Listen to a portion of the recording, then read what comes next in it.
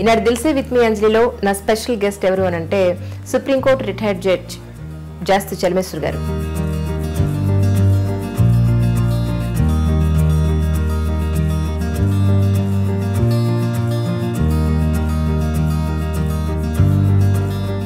ఒక్కళ్ళు కూడా ఆలోచించదు అంటే మీ గురించి తెలుసుకోవాలనే ఒక కుతూహలం ఉంటుంది. సినిమా స్టార్ల కొడుకులు సినిమా స్టార్లు అవుతారు.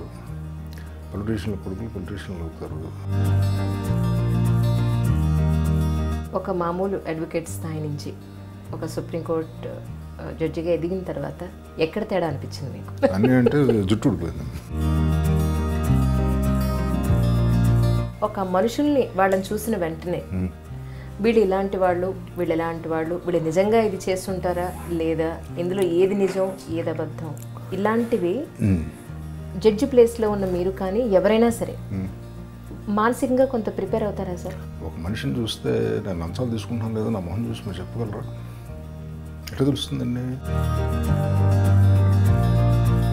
మనుషులు అనేవాళ్ళు ఎవరు? దేవతలు కాదు. సేవా రంగాల్లో అవినీతి పెరిగిపోతే ప్రజలకి అసలు న్యాయం జరుగుతుంది అనే నమ్మకం ఎలా కలుగుతుంది సార్? సరే ఇవన్నీ ఈ సమస్యలన్నీ నాకు తెలుసు మీకు తెలుసు అందరికీ తెలుసు. నేను ఏం చేద్దామో చెప్పండి. అంటే కోపం అంటే అడుగుతాను ఏమంటారు? ప్రపంచం అంతా ఉంది. అమెరికాలో లంచాలు పుచ్చుకుంటారు. రష్యాలో పుచ్చుకుంటారు కాబట్టి మన దేశంలో తప్పు లేదు. అంత మాట అన్నారు. ఇవన్నీ ఇట్లాగే ఉంటుంది జరగనే ఉండే దేశం. నాదేం పోయాడు? ఏ పని లేదు నా పెన్షన్ నాకు వస్తుంది. చట్టం ధర్మాన్ని అందిస్తుందా ఈ రోజున? చట్టం అనేది మోర్ ప్రిసైజ్. యాక్ట్లు రాశారు. టైప్ చేసి ఉంటుంది. ధర్మం అంటే ఏమిటి? ఎక్కడ రాసింది? చెప్పండి. రామారావు గారు తోటి అంత మంచి సాన్నిహిత్యం ఉండి ఒకనొక టైంలో ఆయనకి మీరు సపోర్ట్ చేయలేదు అని అన్న వాదనకి మీరేమంటారు? చేయలేదు కారణం ఏంటంటే?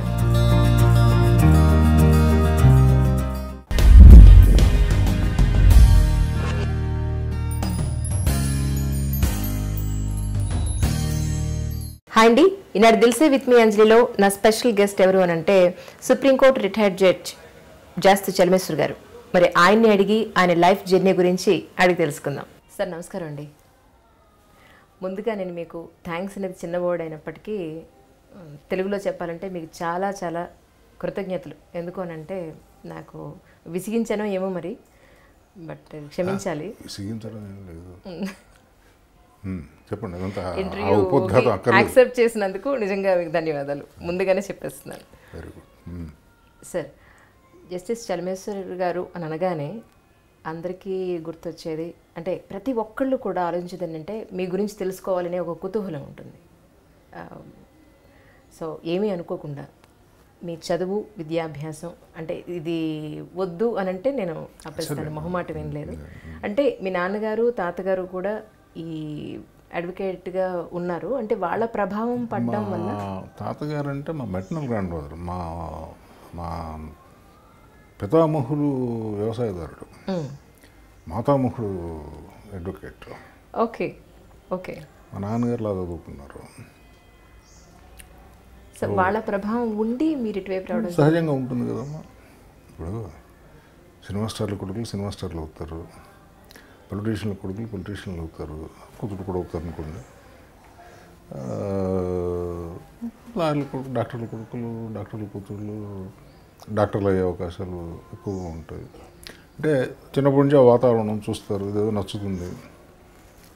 అండ్ పర్టికులర్గా ముందు వాళ్ళు ముందు తరం వాళ్ళు ఆ వృత్తుల్లో కనుక కొంచెం సక్సెస్ఫుల్ అయితే దాంట్లో ఉండే గౌరవము దాంట్లో ఉండే సౌకర్యాలు కొంత అట్రాక్ట్ చేస్తాయి. ఏమి చేయాలి అనే నిర్ణయం తీసుకునే సందర్భంగా ఇవన్నీ ఎంతో కొంత పాత్ర పోషిస్తాయి. ఉంటుంది. ఖచ్చితంగా ఉంటుంది వాళ్ళ ప్రభావం. అంటే ఎడ్యుకేషన్ అయిన తర్వాత మొట్టమొదటిసారిగా మీరు ఎక్కడ జాయిన్ అయ్యారు? అంటే మీ వికీపీడియాలో నేను చూశాను అది ప్రేక్షకుల కోసం ఒకసారి.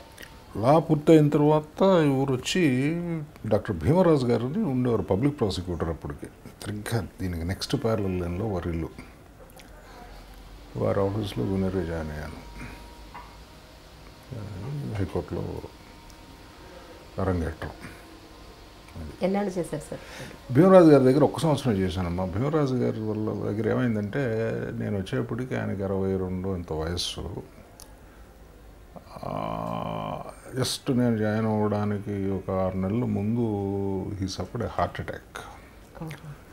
హెల్త్ కొంచెం బాగుండలేదు. ఒక సంవత్సరం నేను ఆయనతో పనిచేసిన తర్వాత ఆయన టర్మ్ అయిపోయింది పబ్లిక్ ప్రాసిక్యూటర్గా.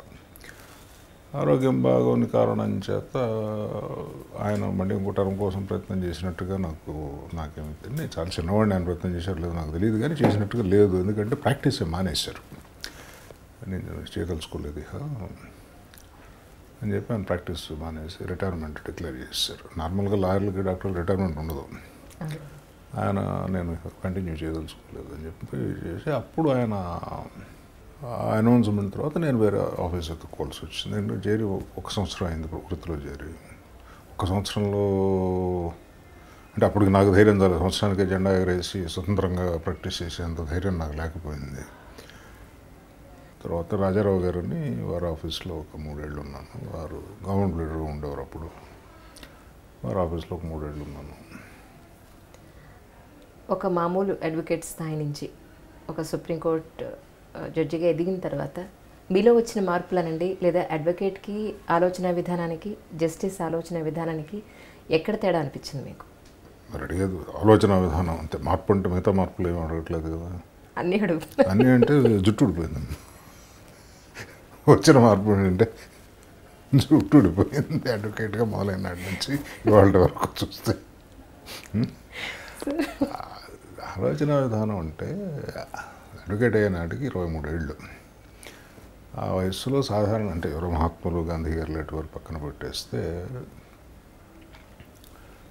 సాధారణమైన మనుషులు నాలాంటి వాళ్ళందరికీ ఆ వయసులో ఏమున్నది ఏదో వృత్తిలో గొప్ప పేరు తెచ్చుకోవాలి డబ్బు సంపాదించాలి పేరు తెచ్చుకోవాలి. మన పేరు కూడా ఈ దేశంలో చెప్పుకోవాలి నేను గొప్ప లాయర్ అని చెప్పి. ఇటువంటి కోరికలు ఏవో ఉంటాయి అందులో నాకు ఉండేవి.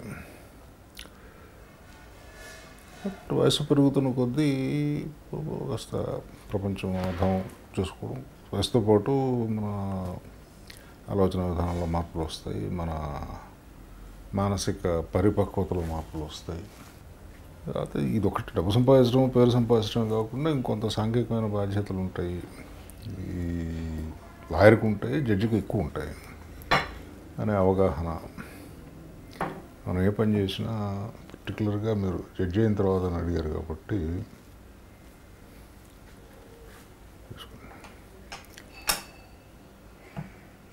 అనుక్షణం ఆలోచన మనం ఏదో- ఈ- పని చేస్తే ఈ తీర్పు రాస్తే దీనివల్ల సమాజానికి అన్నం మంచి మంచి జరుగుతుంది ప్రతి కేసులోనూ అటువంటి సమస్య రాకపోవచ్చు. పూర్తిగా ఏదో ఇద్దరు అన్నదమ్ములు తగదలాడుకుని ఆస్తి కోసం దాంట్లో సమాజానికి పెద్దగా ఉపయోగపడేది ఉపయోగపడనిది కూడా ఏముండవు. లేకపోతే భార్యాభర్తలు డైవర్స్ గొడవ. లార్జర్ క్యాన్వాస్లో ప్రతిదాన్ని విస్తరించవచ్చు. భార్యాభర్తలు డైవర్స్ విషయం సక్రమంగా డీల్ చేయకపోతే ప్రపంచంలో అండర్స్ట్ వస్తుంది. అంత థీరీ వద్దు మనకి. జడ్జిగా ఎస్పెషలీ కాన్స్టిట్యూషన్ కోర్ట్ జడ్జిగా lot of issues dealing with public law issues వస్తాయి. వాటిలో ఇది ఖచ్చితంగా ఈ ఆలోచన అవసరం. మనం తీసుకు మనం రాయబోయే జడ్జిమెంట్ వల్ల ఈ సమాజానికి ఏదన్నా మంచి జరుగుతుందా? ఏ రకంగా మనం జడ్జిమెంట్ తీర్పిస్తే ప్రజలకు ఎక్కువ ఉపయోగకరంగా ఉంటుంది? అనే ఆలోచన సహజంగా ఉంటుంది. మీరు కోర్టులో మీ సీట్లో మీ బెంచ్లో కూర్చున్నారు? కూర్చున్న తర్వాత మీ దగ్గరికి ఒక కేసు వచ్చింది? కేసు వచ్చిన వెంటనే ఇటు మెయిన్ కంప్లైంట్ ఇచ్చిన వాళ్ళు కానివ్వండి రెండు పార్టీల వాళ్ళు కూడా మీకు ఎదురుకుండా కనపడతారు. ఇద్దరు కంప్లైంట్ చేసిన వాళ్ళు ప్లస్ అపోజిషన్ వాళ్ళు ఇద్దరు ఉంటారు ఒక మనుషుల్ని వాళ్ళని చూసిన వెంటనే. వీళ్ళు ఇలాంటి వాళ్ళు వీళ్ళు ఎలాంటి వాళ్ళు వీళ్ళు నిజంగా ఇది చేస్తుంటారా లేదా ఇందులో ఏది నిజం ఏది అబద్ధం ఇలాంటివి. జడ్జి ప్లేస్లో ఉన్న మీరు కానీ ఎవరైనా సరే. మానసికంగా కొంత ప్రిపేర్ అవుతారా సార్? ముందు రెండు విషయాలు మీరు నేను చెప్పాలి. నేను హైకోర్టు జడ్జిగా స్టార్ట్ చేశాను. సుప్రీంకోర్టులో ఎండ్ అయిపోయింది. హైకోర్టులోనూ సుప్రీంకోర్టులోనూ పార్టీలు కోర్టు ముందుకు రావడం అనేది చాలా అరుదుగా జరిగే విషయం. ఆర్ కోర్ట్స్ ఆఫ్ రికార్డ్ జిల్లా కోర్టులో అయితే జిల్లా కోర్టు అంత కింద కింద కింద కోర్టులు పాత రోజుల్లో మనం మున్సిపల్ కోర్టు అనడం ఇప్పుడు జూనియర్ సివిల్ జడ్జెస్ అంటున్నారు. ఆ కోర్టులో పార్టీలు హాజరవుతారు. హైకోర్టుకు వచ్చేవాడికి పార్టీలు హాజరవడం అనేది చాలా రేర్గా జరిగే విషయం. అంటే మీకు చెప్పాలంటే ఖచ్చితంగా హైకోర్టుకు ఒరిజినల్ జ్యూరిస్ట్రిక్షన్ ఎలక్షన్ పిటిషన్స్లో ఉంటుంది. ఆ కేసుల్లో పార్టీలు హాజరవుతారు. వాళ్ళని విచారించడం సాక్ష్యం నమోదు చేయడం కూడా హైకోర్టులో జరుగుతుంది. ఇది కాకుండా పార్టీలు డైరెక్ట్గా రావడం మా ముందుకు అనేది మ్యాట్రిమోనియల్ డిస్ప్యూట్స్లో భార్యాభర్తల తగాదాల్లో వాళ్ళు పిలిపించి ఒక ఎలిమెంటరీ నామ్ ఏమిటంటే సాధ్యమైతే ఏదన్నా రికన్సైల్ చేయడానికి వీలవుతుందా? ప్రయత్నం చేయమనేది ఒక జ్యుడిషియల్లీ ఇవాల్వ్డ్ నామ్ ఒకటి ఉన్నది. ఏదైనా వీలైతే ఒక ప్రయత్నం చేసి దాన్ని కలపడానికి ప్రయత్నం చేయండి న్యాచురల్గా అది పిలిచి మాట్లాడకపోతే జరిగేది కదా అది కాగితాల మీద జరిగే వ్యవహారం కాదు కదా. కాబట్టి అటువంటి సందర్భాల్లో పార్టీలు మిగతా కేసుల్లో అసలు పార్టీలు మా ముందుకు రారు. వాళ్ళు అందంగా ఉన్నారా వికృతంగా ఉన్నారా కొమ్మలు ఉన్నాయా కార్లు ఉన్నాయా మాకు తెలియదు పార్టీ ఎటువంటి పూర్తిగా కాగితం కాగితమే మాకు సంబంధం. కింద కోర్టులో రికార్డ్ చేసిన ఎవిడెన్స్ కింద కోర్టులో రాసిన జడ్జిమెంట్తో తప్పితే పార్టీ ఎటువంటి ఉంటాడు. మనం చూడగానే వాడు మంచివాడిలాగా కనిపిస్తున్నాడా క్రూరులాగా ఉన్నాడా అనే అంచనా వేసే అవకాశం చాలా అసలు ఉండదు మాకు. కొన్ని పేపర్ చూసి పేపర్ చూస్తే ఏం తెలుస్తుంది మీరు మీరు చదువుతారు నేను చదువుతాను. ఇప్పుడు పేపర్ చూస్తే అంటే మీ మీ ట్రైనింగ్ని బట్టి ఉంటుంది. ఇప్పుడు మీకు చిన్న ఎగ్జాంపుల్ చెప్తా. ఏ అనేవాడు బి అనేవాడు కత్తితో పొట్టలో పొడిచాడు. అనేది ఒక స్టేట్మెంట్ ఆఫ్ ఫ్యాక్ట్. అప్పుడు ఏ అనేవాడి గురించి మీరు ఏమనుకుంటారు? చెప్పు. నేను మీ ముందు నేనే nothing in front of you so వీడిని వాడు పొడిచాడు పాపం అతనికి ఇలా అయిందా అని అనుకుంటాం. సరే ఏ అనేవాడి గురించి మీరు ఏమనుకుంటారు? వాడు మంచివాడా చెడ్డవాడా అని మంచివాడు అనుకుంటారా చెడ్డవాడు అనుకుంటారా? ఏమో ఈ రోజులను బట్టి ఏమో ఏం జరిగిందో ఏం తెలుస్తుందో అనుకుంటాం. కొంచెం డౌట్ ఉంది. ఐ విల్ టెల్ యూ మీకు చెప్పింది simple statement of fact. A అనేవాడు బి అనేవాడిని కత్తిపెట్టి పొడిచాడు. ఇప్పుడు డాక్టర్ దగ్గరికి వైద్యానికి వెళ్ళానుకోండి కత్తిటి అడ్డంగా కోసేస్తాడు. అక్కడ కత్తిపెట్టి పొడుస్తున్నాడు. ఈ పొడిచిన వాడు ఎవడు ఏ కారణం చేత పొడిచాడు ఏ పరిస్థితుల్లో పొడిచాడు అనేది ఎంక్వైరీ చేయాలి. అంతేగాని వాడు ఏ అనేవాడు బి అనేవాడిని కత్తిపెట్టి పొడిచాడు అనగానే వాడు మర్డర్ మర్డర్ చేసాడు అనే కంక్లూజన్ జంప్ అవ్వకూడదు. ఒకటి. రెండోది ఆ కత్తిపెట్టి పొడి డాక్టర్ కాదు. ఏ సందర్భంగా అట్లా జరిగింది? వాడు కావాలని ఇంటెన్షనల్గా పొడిచాడా? అయితే వాడు ఏదో కత్తి ఇట్లా అంటుండగా సడన్గా రెండో వాడు వస్తే వాడు కడుపులో కూసుకున్నదా? ప్రమాదవశాత్తు. ఇట్లా ఇవన్నీ అటెండెంట్ సర్కమ్స్టెన్సెస్ కాబట్టి ఆ పట్టిని చూడగానే లేకపోతే రికార్డు చదవగానే ఒకసారి రికార్డు మీద ఉంటుంది ప్రతి కేసులోనూ ఇప్పుడు ఫర్ ఎగ్జాంపుల్ క్రిమినల్ కేసుల్లో మీరు చూస్తే ఛార్జ్ అంటారు అభియోగం అనుకోండి తెలుగులో. ఏంటి? That you are accused of causing the death of sons murder case గురించి మాట్లాడుతున్నాం మనం. Accuse sons X is accuse of causing the death of Y by inflicting knife injury or by gun shot ఏదో ఇటువంటి charge ఏదో ఉంటుంది. ఇది ప్రతివాడి మీద అభియోగం ఉంటుంది. అందరి మీద ఉంటుంది. ఉంటుంది. ఊరికి మాట వరుస చెబుతున్నాను అంటే పేర్లు. ప్రత్యేకత కాదు. అది ఎవరో చీఫ్ మినిస్టర్ గారిని గురించి ఎవరేదో చాలా విపరీతంగా ధన సముపార్జన చేశారు ఆఫీస్లోనూ. కేసు పెట్టారు ఒక ఇరవై ఏళ్ళు నడిచేది ఈ దేశంలో. అది నిజమైన ప్రూవ్ అయిందని ఒక ఎదుటి వారు తీర్పిచ్చారు అది నిజం కాలేదు నిజం కాదు రికార్డు ఉన్న సాక్ష్యం సరిపోదని హైకోర్టు వారు రివర్స్ చేశారు. ఆ తర్వాత కేసు సుప్రీంకోర్టుకు వెళ్ళింది. ఆ సుప్రీంకోర్టులో విన్నారు రిజర్వ్ చేశారు. అయితే పాపం జడ్జీలు తిరుగుబాటు చేసిన జడ్జిమెంట్ రాసేలోపుగా వారు కాలం చేశారు. ఇప్పుడు వారు చేసినట్ట చేయనట్ట ఇది. పాయింట్ ఏంటంటే ఇదంతా రికార్డు మీద ఉంటుంది. ఆ రికార్డు మీదే అసెస్మెంట్ ఒక్క ట్రయల్ కోర్టులోనే పార్టీలు. అక్కడ కూడా ఒక మనిషిని చూస్తే నేను లంచాలు తీసుకుంటున్నాను లేదా నా మొహం చూసి మీరు చెప్పగలరా? ఎట్లా తెలుస్తుందండి? ఏదో సాక్ష్యం ఉండాలి దానికి. ఎందుకంటే కింద కోర్టులో ఉండే హైకోర్టు సుప్రీంకోర్టు లెవెల్లో మీరు చెప్పినట్టుగా ప్రత్యక్షంగా కాదు, కోర్టులో కూడా కింద కోర్టులో కూడా ఒక మనిషిని చూడగానే వాడు లంచం పుచ్చుకున్నాడో లేదో లేకపోతే మర్డర్ చేసేవాడు. మీరు you take some of the most dreadful criminals ఇది ఫర్ ఎగ్జాంపుల్ సైకిక్ క్రిమినల్స్ ఉంటారు సీరియల్ కిల్లర్స్ వాళ్ళు. వాళ్ళని చూస్తే వాడు ఇటువంటి వాళ్ళని మీకు చూడగానే మీకు అనిపి అనిపిస్తే ఇంతమంది ఆ ప్రమాదంలో పడ ముందే జాగ్రత్త పడతారు. చాలా నార్మల్గా కనిపిస్తారు వాళ్ళు. కాబట్టి అసలు అపీరెన్స్ని బట్టి ఒక మనిషి ఎటువంటి వాడు అనేది డిసైడ్ చేయడం చాలా తప్పు పని ఫర్ ఎ జడ్జి. జడ్జి కాని వాడికి అమాయకత్వం అది. జడ్జి కనుక అటువంటి పని చేస్తే చాలా తప్పు అది ఫిజికల్ అపీరెన్సెస్ని బట్టి మనిషి మంచి చెడులు డిసైడ్ చేయడం అనేది చేయనేకూడదు రెండోది కోర్టులు అనేది పూర్తిగా సాక్ష్యాధారాల మీద ఆధారపడి నడిచే వ్యవస్థ. ఇన్ యాబ్సెన్స్ ఆఫ్ ఎనీ వేరే ఆల్టర్నేటివ్ లేదు. మనకేమి దివిజ్ఞానం ఉండదు.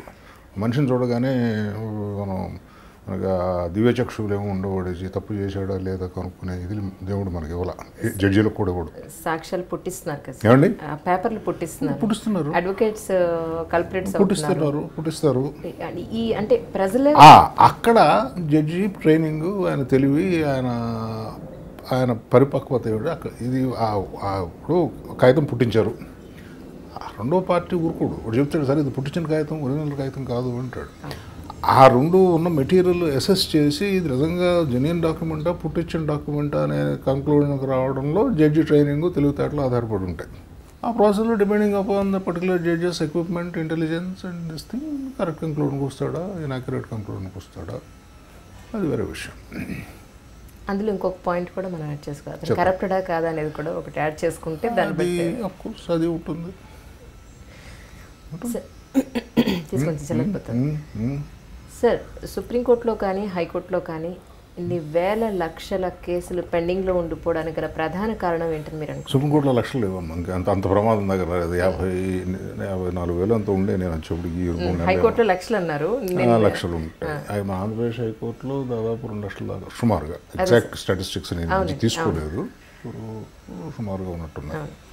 ఆ, ఓ వరాహబెళ్ళాడు కోర్టులో తొమ్మిది పది లక్షల కేసులు పెండింగ్ ఉంటాయి హైకోర్టులో. అంటే ఇంత పెండింగ్ ఉండిపోవడానికి గల కారణాలు ఏంటంటారు? ఎందుకంటే చాలా పెద్ద సబ్జెక్ట్ అమ్మా రెండు నిమిషాల్లో చెప్పలేను బట్ ఇండికేట్ చేయగలను. దాని మీద రోజుల తరబడి మాట్లాడవచ్చు ఇన్ని కేసులు ఎందుకు ఉంటాయంటే ఈ దేశ జనాభా నూట ముప్పై కోట్లు సుమారుగా. మనుషులు అనేవాళ్ళు ఎవరు? దేవతలు కాదు. మనుషులందరూ ఏదో ఒక డిగ్రీ ఆఫ్ అవలక్షణం ఉంటుంది. కొంత దగ్గర మరీ ఎక్కువ ఉంటాయి కొంత దగ్గర తక్కువ ఉంటాయి. క్రోధాలు అనేవి మనుషులకు సహజమైన విషయాలు. ఏదో పొరపాట్లు జరుగుతుంటాయి. తగాదాలు వస్తాయి. తగాదా వస్తే కోర్టుకు పోవాలి. నలభై కో భారతదేశానికి స్వాతంత్రం వచ్చేప్పటికి ఈ దేశ జనాభా దాదాపు నలభై కోట్లు. ఇవాళ నూట ముప్పై కోట్లు దాదాపు నూట ఇరవై ఏడు ఎనిమిది ఉన్నారు అది ఎగ్జాక్ట్గా తెలియదు రోజు రోజు నిమిషం నిమిషానికి మారుతూ ఉంటుంది. సుమారుగా సంథింగ్ ఆఫ్ దట్ ఆర్డర్ భారతదేశానికి స్వాతంత్రం వచ్చినాడు ఈ దేశంలో ఎన్ని కోట్లు ఉన్నాయి? ఎంతమంది జడ్జీలు ఉన్నారు? ఇవాళ ఎన్ని కోట్లు ఉన్నాయి? ఎంతమంది జడ్జీలు ఉన్నారు? ఒక్కసారి మీరు స్టాటిస్టిక్స్ తీసుకుంటే పెరిగిన జనాభాకి సరిపడా కోట్లు రాలేదు మనకి. అది బేసిక్ ఒక కారణం. రెండవది తగాదాలు ఎందుకు వస్తాయి కోర్టులకు సంబంధించి? సో అంటే లెటర్ బిన్లో చెప్తున్నాను అది అనుకోకండి. మూడు పళ్ళాలు ఎందుకు పోటాడుంటారంటే సవా లక్ష కారణాలు ఉంటాయి. కోర్టుకు ఎందుకు వస్తున్నారంటే లీగల్ రైట్స్ ఏవో ఇన్ఫ్రింజ్ చేయని అంటేనే కోర్టుకు రావాలి. మావిడి వాళ్ళ వంట సరిగ్గా చేయలేదని నేను కోర్టుకు పోలేను. I have no legal right on that లేకపోతే మీరు ఆడవాళ్ళు కాబట్టి మా ఆయన మల్లెపూలు తెచ్చిపెట్టలేదండి వాడు సాయంత్రం బజార్ నుంచి వచ్చేప్పుడు అని చెప్పి మీరు కోర్టుకు పోలేరు they are no legal right they are purely personal affairs ఇవన్నీ. లీగల్ రైట్స్ వాటి ఎన్ఫోర్స్మెంట్ కోసం కోర్టుకు పోతారు.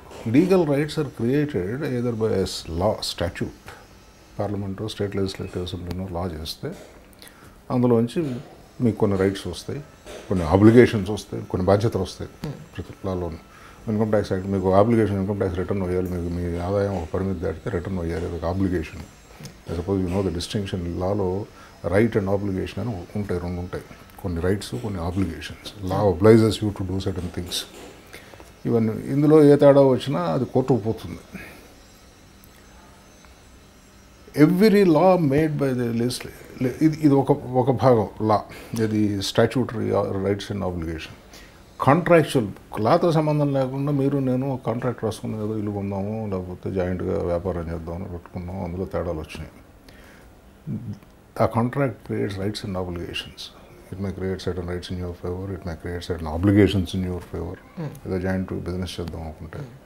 అట్లాగే రెండో పార్ట్నర్ రెండోవాడు నేను నాకు కొన్ని రైట్స్. ఇందులో ఎక్కడ తేడా వచ్చినా కోర్టుకు పోతారు అట్లా రైట్స్ అండ్ ఆబ్లిగేషన్స్ అనేవి ఉంటాయి. వీటి ఎన్ఫోర్స్మెంట్ కోసం కోర్టుకు పోతారు ఈ నూట ముప్పై కోట్ల జనాభా పెరగడమే కాకుండా ఈ అరవై డెబ్భై ఏళ్ళలో పార్లమెంటు స్టేట్ లెజిస్లేచర్స్ చాలా చట్టాలు చేశారు. ప్రతి చట్టం కొత్త కొత్త రైట్స్ ఆబ్లిగేషన్స్ క్రియేట్ చేస్తుంది. వీటన్నిటిలోంచి డిఫరెన్సెస్ ఆఫ్ ఒపీనియన్స్ వస్తాయి మనుషుల్లో which lead to litigation. So volume of the litigation పెరుగుతుంది. ఇవన్నీ హ్యాండిల్ చేయడానికి తగినన్ని కోర్టులు కావాలి. లేవు. మొత్తం నంబర్ కాదు. నంబరే కాకుండా నెక్స్ట్ కాంపోనెంట్ ఏంటి ఏంటి the efficiency of the system judge అంటే చాలామంది జడ్జిలు ఉంటారు. కృష్ణయ్య గారు జడ్జి నేను జడ్జి.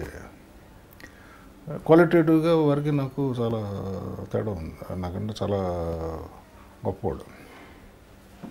ఇద్దరం ఒకే ఉద్యోగం చేసాం ఇద్దరికి జీతం ఆయనకంటే జీతం మాకు ఎక్కువ వచ్చేది. ఇన్ఫ్లేషన్ వలన సిక్స్త్ రేసే కృష్ణారావు గారి కంటే నాకు ఎక్కువ జీతం వచ్చేది.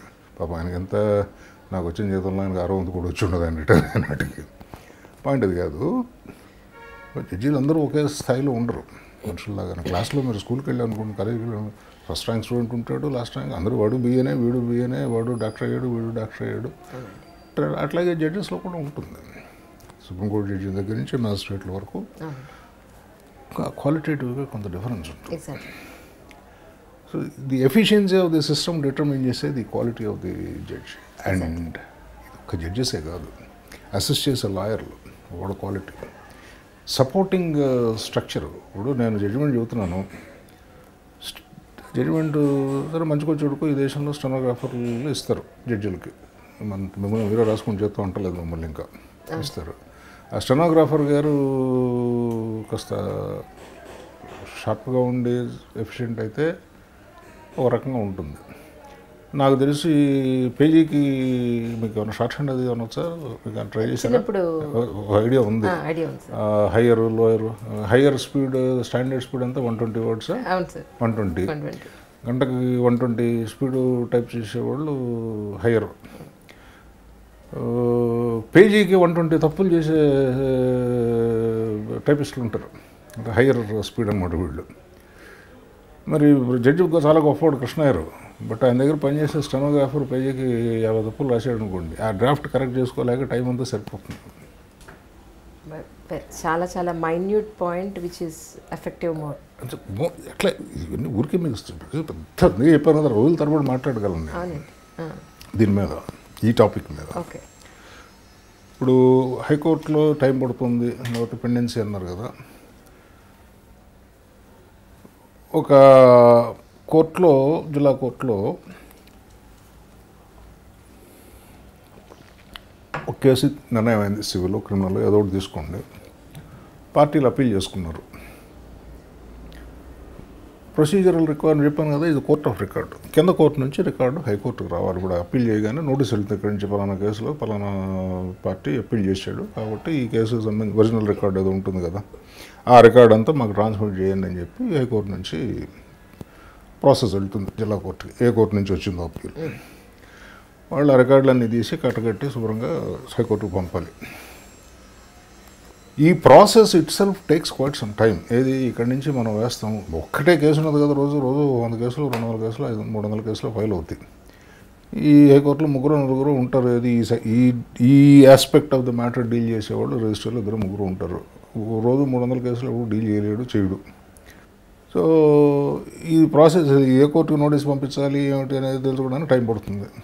అక్కడి నుంచి వీళ్ళు ఉత్తరం రాయాలి అది పోస్ట్లో పడేయాలి. ఆ, సరే ఇప్పుడు ఏదో ఇంకా అది కంప్లీట్గా కంప్యూటరైజ్ కాలేదు. యాక్చువల్గా కంప్యూటరైజేషన్ ఏంటంటే కంప్యూటరైజ్ చేస్తే టక్కని మీరు ఈమెయిల్ కూడా నెక్స్ట్ సెకండ్కి వెళ్ళిపోతుంది. పాత రోజుల్లో ఉత్తరం రాసేవారు అది పోస్ట్లో వెళ్ళి ఆ జిల్లా కోర్టుకి వెళ్ళి అది అక్కడ తపాల్ సెక్షన్ నుంచి పై మళ్ళీ ఇది అడ్మినిస్ట్రేటివ్ హైరార్కి. ఆ ముందు ఒరిజినల్గా ఏదో తపాల్ సెక్షన్ ఉంటుంది. ఆ తపాల్ సెక్షన్ నుంచి లోయర్ డివిజన్ క్లర్క్ అక్కడి నుంచి హైయర్ యూడీసీ నుంచి సూపరింటెండెంట్ ఈ లెవెల్స్ అన్ని దారి ఫైనల్గా ఓహో హైకోర్టుకి పంపించాలి అని పై ఆయన కూడా సూపరింటెండెంట్ గారు నిశాని వేస్తే కానీ మళ్ళీ రెక్- మళ్ళీ ఆ రికార్డ్ అక్కడి నుంచి కదలదు. ఇదంతా ప్రాసెస్ టైం టేకింగ్ ప్రాసెస్. ఇందులో ఏ ఒకడు క్రికెట్ మ్యాచ్ చూడడానికి పోయినా పని అక్కడ ఆగిపోతుంది. మ్యాచ్ చూడడానికి వెళ్ళిపోతే రేడియో పెట్టుకుని మనం చూసాం మన అందరం చూసాం నేను చూశాను అంటే కొట్లోనే కాదు. నా బాగా గుర్తు రోజు బ్యాంకులో తగాద పెట్టుకున్నాను యూనివర్సిటీలో ఉండగా. బ్యాంకుకి డబ్బులు ఇచ్చి కోసం నా డబ్బులే. నా డబ్బులు రాజేశ్వరానికి పోతే హ్యాపీగా అందరూ కూర్చొని క్రికెట్ మ్యాచ్ కామెంటరీ ఉంటున్నారు ట్రాన్సిస్టర్. ఎవడు పలకడు? వెయిట్ చేస్తూ ఉన్నాం. కురతనం కదా అంటే కదా. సరదాగా చెప్తున్నాను అంత lighter vein so that you understand things అంతేగాని ఇందులో ఏమన్నా బ్లేమ్ చేయాలని ఆ ఉద్దేశంతో చెప్పట్లేదు. ఎఫిషియన్సీ లెవెల్స్ ఒకటి ఉంటాయి సిస్టంలో ఇవన్నీ contributory factors for the accumulation of arrears పెద్ద టాపిక్ ఇది ఇది మీద చాలా కాంప్రహెన్సివ్ చాలా మాట్లాడవచ్చు ఏదైనా చేయాలంటే చాలా ఇప్పుడు the legislature must take interest in this the executive must take interest judiciary must take interest bar must take interest అంత బ్రహ్మాండం ఉందండి. పార్లమెంట్ మంచిలా చేసింది. గవర్నమెంట్ వారు ముఖ్యమంత్రి గారు ప్రధానమంత్రి గారు కావాల్సిన ఫండ్స్ అన్ని ఇస్తామండి మీరు తొందరగా కేసులు డిసైడ్ చేయమని చెప్పారు. మరి మా మా స్టాఫ్ కూడా మంచి వాళ్ళే భయస్తులండి జడ్జి గారు కాపాడుతాడని చెప్పి ఎవడు క్రికెట్ మ్యాచ్కి వెళ్ళడు అంత కష్టపడి పనిచేస్తారు కలెక్టర్ గారు కోర్టుకు రావాలి. ఆయన ఆయన మంచివాడే. అయితే పెద్ద ప్లేటర్ గారు బోల్డ్ కేసులు ఉన్నాయి. మీకు ఆయన ఈ కేసు పిలిచానట్టుగా పక్క కోర్టులో ఇంకో కేసు పిలిచారు అక్కడ ఆర్గ్యూ చేస్తున్నాడు. అది వదిలిపెట్టి రాలేడు కదా. నువ్వు నేను పంపిస్తారు మా ప్లేటర్ గారు అక్కడ ఆర్గ్యూ చేస్తున్నాడు సార్ ఎల్లుండి తీసుకోండి ఈ కేసు అంటాడు. కొన్ని ఇన్స్టిట్యూషన్ కట్సేసి ఉంటాయి. టాట్ కుదరదు కొట్టేస్తా ఉన్నాం. సరేనా రమ్మను మరి ఏం చేస్తాను వాయిదా వేస్తాను ఈయన వచ్చేవాడు రెండో పక్కన ప్లేటర్ గారు ఆ రోజు ఖాళీగా ఉండకపోవచ్చు. వాళ్ళు ఇవన్నీ it's a complicated system requires a great analysis why is it happening ఎందుకంటే ఆలస్యంగా న్యాయం జరిగితే న్యాయం జరగనట్టే అని అంటున్నారు. నాకు తెలుసు. మరి పదేళ్ళు ఇరవై ఏళ్ళు ముప్పై ఏళ్ళు చెప్పండి దాని సరే అన్ని ఈ సమస్యలన్నీ నాకు తెలుసు మీకు తెలుసు అందరికీ తెలుసు. నేను ఏం చేద్దామో చెప్పండి. వీళ్ళందరినీ ఎట్లా మనం ఒక చోట కూర్చోబెట్టి వెళ్తే ఎట్లా పని చేయించాలి? ఇప్పుడు డబ్ మీకు ఒక విషయం చెప్పనా? ఈ భారతదేశంలో మీకు మీకు ఇంట్రెస్ట్ ఉంటే యూట్యూబ్లో చూసుకోండి. రెండు వేల పద్నాలుగులో ఎలక్షన్ జరగడానికి ఒక రెండు మూడు నెలల ముందు ఎగ్జాక్ట్ డేట్స్ గుర్తులేవు నాకు సుమారుగా. బార్ కౌన్సిల్ ఆఫ్ ఇండియా వాళ్ళు అహ్మదాబాద్లో ఏదో పెద్ద కాన్ఫరెన్స్ ఒకటి పెట్టారు. ఐదు ఆరుగురు సుప్రీంకోర్టు జడ్జీలు ఒక ఐదు ఆరుగురు chief justice of different high courts అప్పటికి చీఫ్ జస్టిస్లో ఉన్నవాళ్ళు.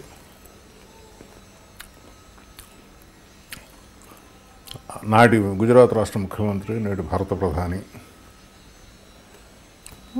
నాలుగైదు వేల మంది లాయర్లు from all over the country bar council of India వాళ్ళు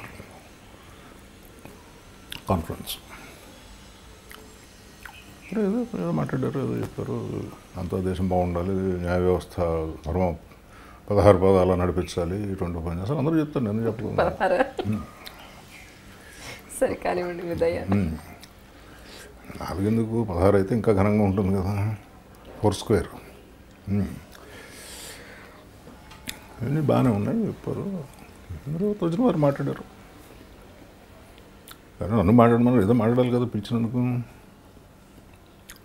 అది ప్రోగ్రామ్ యూట్యూబ్లో ఉంది మీకు ఒప్పుకుంటే చూసుకోండి. నేను చెప్పా.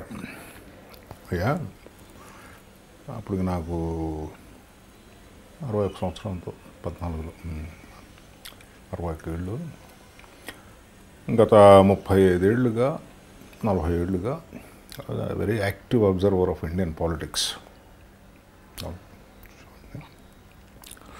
ఈ నలభై ఏళ్ళలో నేను రకరకాల పొలిటికల్ పార్టీలు నాయకులు రకరకాల వాగ్దానాలు చేయడం విన్నాను చూశాను. నన్ను గెలిపిస్తే మీరు పేదవాళ్ళందరికీ భూమి పంచి పెడతామన్న వాళ్ళు బర్రెలు గొర్రెలు పంచి పెట్- పెడతామన్న వాళ్ళు నేను అస్సాంలో పనిచేశానండి. అక్కడ స్కీమ్ ఉండేది. పందులను పంచుతారు. అదో స్కీమ్ ఏదో గొర్రెలు పెంచితే అక్కడ పందులు పెంచుతారు. అక్కడ స్థానిక ప్రజలకు వదిలో ఇలా రకరకాల స్కీమ్లు ఉన్నాయి. ఇంకొంచెం మోడర్న్ స్టేట్స్లో ల్యాప్టాప్లు ట్యాబ్లెట్లు ఐఫోన్లు ఐఫోన్ కాదులేండి. స్మార్ట్ ఫోన్లు టీవీలు ఎవరు రకరకాల ప్రెషర్ కుక్కర్లు ఎవరు రకరకాలు ఇస్తారు ఇస్తామని ప్రమాణం చేస్తారు కొన్ని ఇస్తారు కొన్ని ఇవ్వరు. లేకపోతే ఇంకా కొంచెం నాకు ఓటేస్తే మీ ఊళ్ళకి రో మీ ఊరికి రోడ్డు ఇస్తాను లేకపోతే రైల్వే రైల్వే లైన్ తెస్తాను ఇంకా కొంచెం పెద్ద ప్రమాణాలు ఇవన్నీ చేస్తారు. దాని సంగతి దాని తర్వాత మాట్లాడదాం. దాని సంగతి తర్వాత మాట్లాడదాం. దాని దూరకు వద్దు మనం. టాపిక్ డివేట్ అవ్వద్దు. చేస్తారు. నాకు ఓటు వేస్తే మీ ఊళ్ళో కొత్తగా కోర్టు పెట్టిస్తాను అన్నవాడిని నేను ఇంతవరకు ఎవరిని వినలేదు చూడలేదు. మీలో ఎవరన్నా చూసున్నా వినున్నా ఒకసారి చేయెత్తే చూసి సంతోషిస్తాను అని చెప్పాను. ఎప్పుడు అందరు నవ్వారు ఎవరు చప్పట్లు కొట్టారు ఎప్పుడు చేయెత్తలేదు మీరు ఎప్పుడు వినుంటే చెప్పండి నాకు. నేను కూడా వినలేదు సార్. ఎందుకంటే రాజకీయాల్లో ఉండే వాళ్ళకి చాలా లో ప్రయారిటీ ఇది. దీనివల్ల వాళ్ళకి వచ్చే లాభం మీద దీనివల్ల కోర్టు రాదు వాళ్ళకి తెలుసు. కోర్టు పెడతానంటే ఎవడు ఓటేస్తాడండి? హాస్పిటల్ పెట్టిస్తానంటే మనం కొంచెం ఓట్లు వేయొచ్చు. అది కూడా డౌటే నాకు. వాళ్ళు రేపున్న పరిస్థితుల్లో నాకేమిస్తావు నడుపున్నారు నువ్వు హాస్పిటల్ కట్టిస్తే నాకు కోర్టు పెట్టిస్తాను అన్న నాయకుడిని నేను ఎవరిని చూడలే. యథావత ఏంటంటే బడ్జెట్లో ఇదే రాష్ట్రంలో అయినా నేషనల్ బడ్జెట్లో అయినా ఎలొకేషన్స్ ఉంటాయి. మిగతా అన్ని డిపార్ట్మెంట్లకి ఎంత కొంత ఉంటుంది డిపెండింగ్ ఆన్ ద సబ్జెక్టు వాళ్ళ గవర్నమెంట్ పాలసీ వాళ్ళ ప్రయారిటీస్ని బట్టి. బడ్జెట్లో five percent ten percent twenty percent. Half of the budget employees పేమెంట్కి వెళ్ళిపోతుందండి. ఏ స్టేట్లో అయినా. Hmm. మిగతా హాఫ్ ఏదో వాళ్ళ ప్రయారిటీస్ వాళ్ళ పాలసీని బట్టి పెంచుతారు ఏదో రెండు రూపాయలకు బియ్యం ఇస్తామా లేకపోతే ఏదో ఉంటాయి కదా. లేదా ఆరోగ్యశ్రీ ఇంకొకటి ఇంకొక శ్రీ ఏదో శ్రీ రకరకాలు. కోర్ట్స్ లీగల్ జుడిషియల్ డిపార్ట్మెంట్కి బడ్జెట్లో అలొకేషన్ ఏ స్టేట్లోనూ రెండు పర్సెంట్ మించదు. ఈ డెబ్బై ఏళ్ళలో మీరు స్టాటిస్టిక్స్ తీసి చూసుకోండి. ఏ స్టేట్లో ఉన్న రెండు పర్సెంట్ దాటి ఉంటే నాకు చూపించండి చూసి సంతోషిస్తాను. One one and half percent average ఉంటుంది టూ పర్సెంట్ ఎందుకంటే చాలా లో ప్రయారిటీ ఐటమ్ వాళ్ళకి.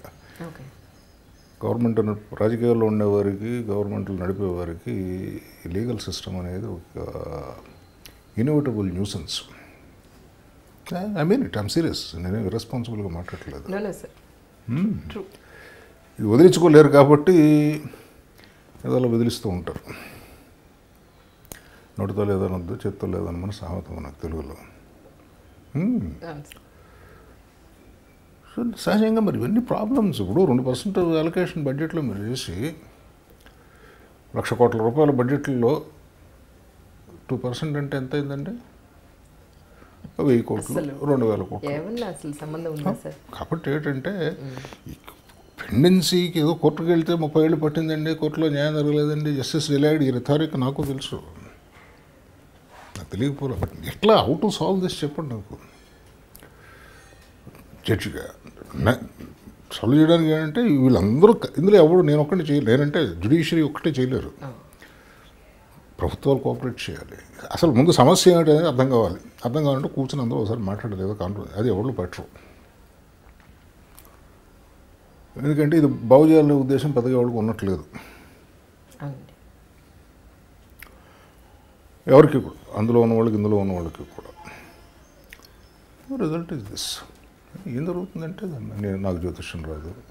నాకు అరవై ఐదేళ్ళు ఏదో కొంతకాలం ఉంటాను. ఆ తర్వాత ఏం జరుగుతుందో ఈ దేశంలో నేను నాకెక్కడ తెలుస్తుంది. మీరు చిన్నవాళ్ళు కాబట్టి మీరు చూడొచ్చు. చూసినప్పుడు అప్పుడు అప్పుడు పలానా ఆయన ఇట్లా చెప్పాడు ఇది నిజమే కావునని అనుకోండి.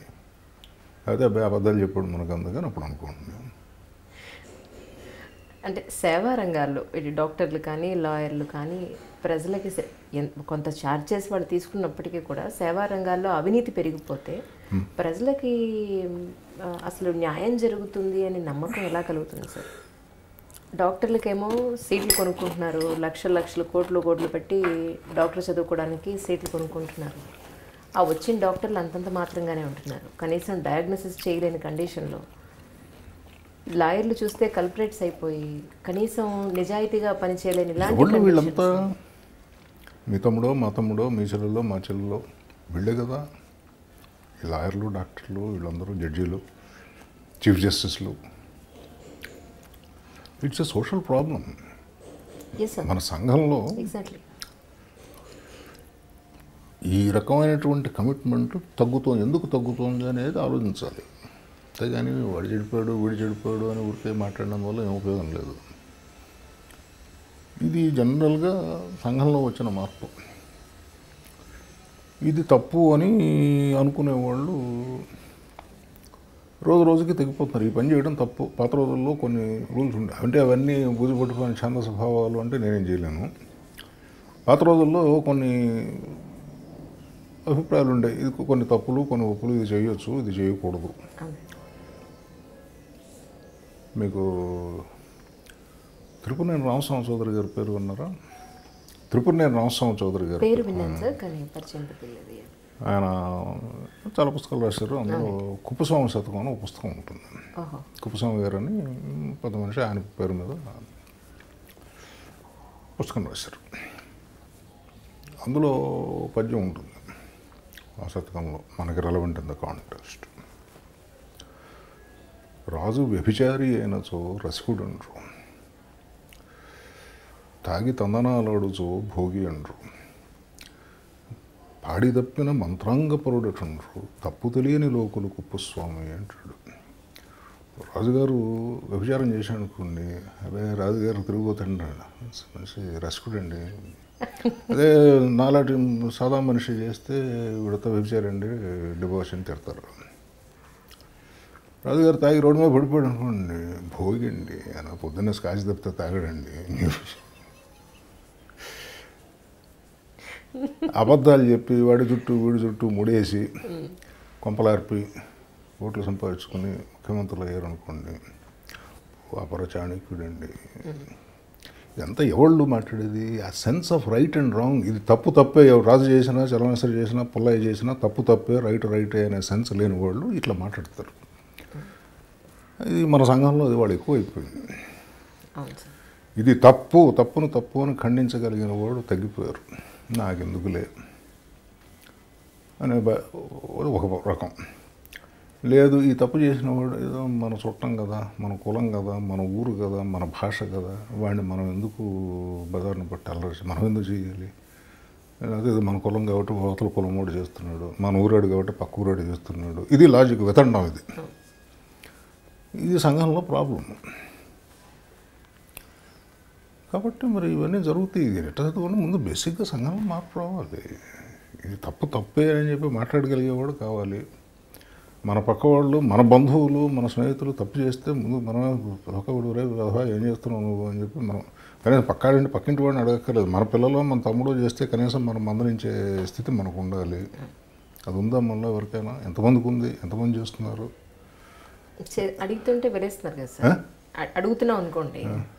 ఎందుకు పనికిరాదనో లేకపోతే వాడు ఎందుకు పనికిరాదనో వేస్ట్ కండలను తీసి పక్కన పెట్టేస్తున్నారు. ఎవరు వింటున్నారు అప్పుడు మాట్లాడిపోకండి ఇవన్నీ దేశం పాడైపోతుందని చెప్పకండి నాకు. అటగా ఉంటుంది మరి ఇటు అనుకుంటే అటగా ఉంటుంది. ఇప్పుడు నేను టాపిక్ ఇది I was very averse to discuss it నేను ఏదో ప్రెస్ కాన్ఫరెన్స్ పెట్టాను మధ్యకాలంలో. చాలామంది తిట్టారు కొందరు పొగిడారు కొందరు తిట్టారు చాలామంది తిట్టారు.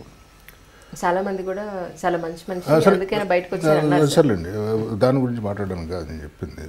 మరి నేను గప్చిప్గా ఊరుకుని ఉండొచ్చు. నాకెందుకులే అని. అయితే మాట్లాడిన వల్ల నాకు ఏమన్నా నష్టం? తిట్టడం అనేది సహజం. ఏదో ఒక స్టాండ్ తీసుకున్న తర్వాత ఎవడో తిట్టకుండాను తప్పు పట్టకుండా ఉండరు. నాకేమైంది? నన్ను ఎవడు కొట్టలేదు చంపలేదు.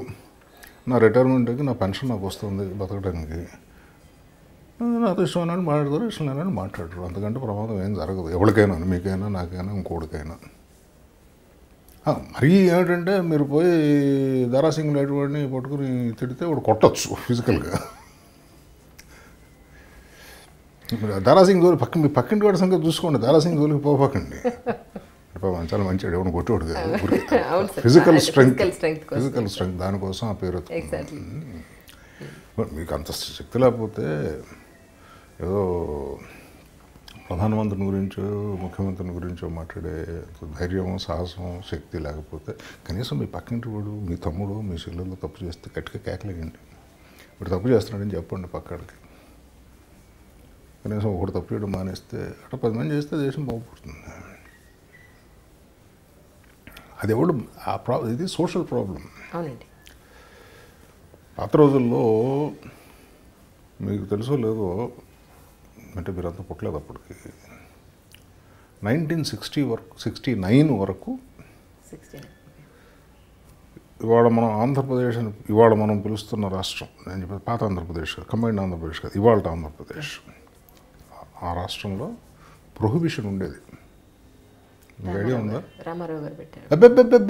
నైన్టీన్ సిక్స్టీ నైన్కి రామారావు ఎక్కడ ఉన్నాడు సినిమాలో? దాని తర్వాత ఆయన ప్రొఫెషన్ ఆయనకి రామారావు గారు పెట్టారు. ఆయన ఒక సంవత్సరం పెట్టాడు అది వదిలేయండి. నేను చెప్పేది nineteen sixty nine. Nineteen sixty nine వరకు ఇవాళ మనం ఆంధ్రప్రదేశ్గా పిలువబడుతున్న ప్రాంతం పిలుస్తున్న ప్రాంతానిలో ప్రొహిబిషన్ ఉండేది. అప్పట్లో ఉండేది నైన్టీన్ సిక్స్టీ నైన్ వరకు ఉంది. ప్రభుత్వం ప్రభుత్వం వారు చేసిన ఘనకార్యం ఏంటంటే గాంధీ సెంటనరీ సందర్భంగా ప్రొఫెషన్ ప్రొఫెషన్ ఎత్తేసారు అప్పుడు. Nineteen sixty nine Gandhi centenary year అమ్మా. ఓకే ఆ సందర్భంగా ప్రొఫెషన్ ఎత్తేసారు ఆ సందర్భంగా అని చెప్పలేదు కానీ జరిగింది అది జరిగింది అదే. జరిగింది అది ఆ సంవత్సరం ఎత్తేసారు అప్పటికి తెలంగాణ రాష్ట్రంలో ప్రొవిషన్ ఎప్పుడు లేదు. ఇది ఆల్ కల్చరల్ ఆస్పెక్ట్స్ వీళ్ళ దృష్టిలో అది పెద్ద అబ్జెక్షనబుల్ కాదు. ఇక్కడ ఎప్పుడు లేదు అసలు ప్రొహిబిషన్. ఆంధ్ర రాష్ట్రంలో ఉండేది. అంటే దొంగచాటుగా తాగేవాడు అక్కడ తాగేవారు. దొంగసారా కాసేవాళ్ళు దొంగచాటుగా పక్క రాష్ట్రానికి వెళ్ళి ఎందుకు పక్క రాష్ట్రం హైదరాబాద్ వచ్చేవారు. అక్కడ నుంచి నా మీకు ఐడియా ఉంటే ఇప్పుడు ఆ హోటల్ వాళ్ళ నాకు కోపం వస్తుంది మేనేజ్మెంట్ మారిపోయింది నేను పర్లేదు.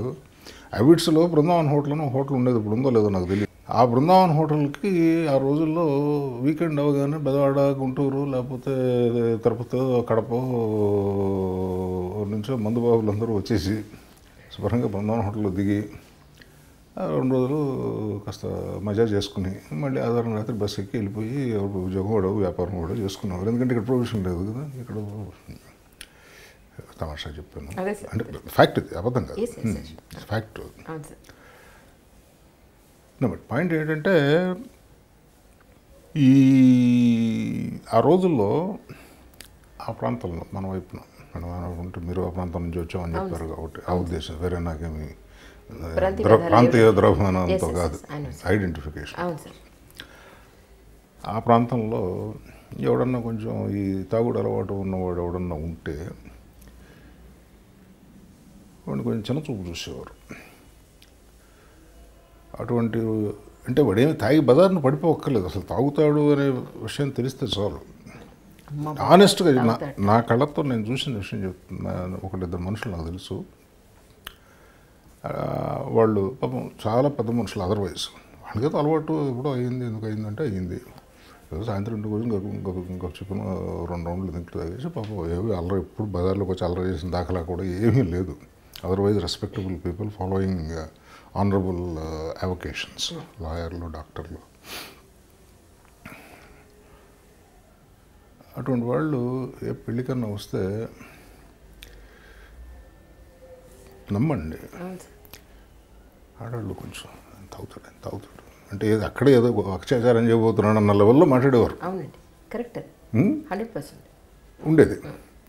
మరి అసలు ఇవాళ అటువంటి అసలు తాగడం అనేది తాగడం తప్ప రైట్ అని నేను మాట్లాడట్లేదు. దాని గురించి మాట్లాడట్లేదు.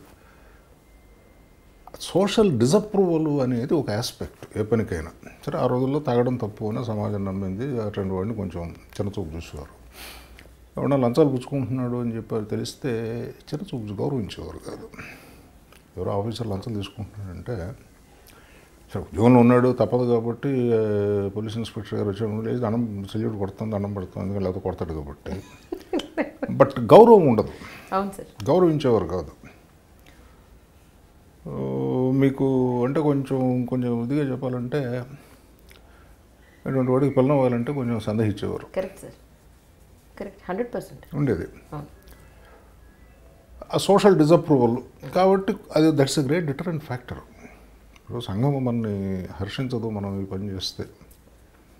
అనేది కామన్ యావరేజ్ మనుషుల మీద చాలా ఎఫెక్ట్ ఉంటుంది. ఇప్పుడు భయం ఉందా సార్ లేదు అసలు ఎవడు ఏది డిజప్రూవ్ చేయట్లేదు కదా. ఎవడు ఏది డిజప్రూవ్ చేయట్లేదు. ఇప్పుడు అన్నీ ఇది మనకు తెలుసు. వాడు మర్రలు చేశాడు ఆరు మర్రలు చేశాడు.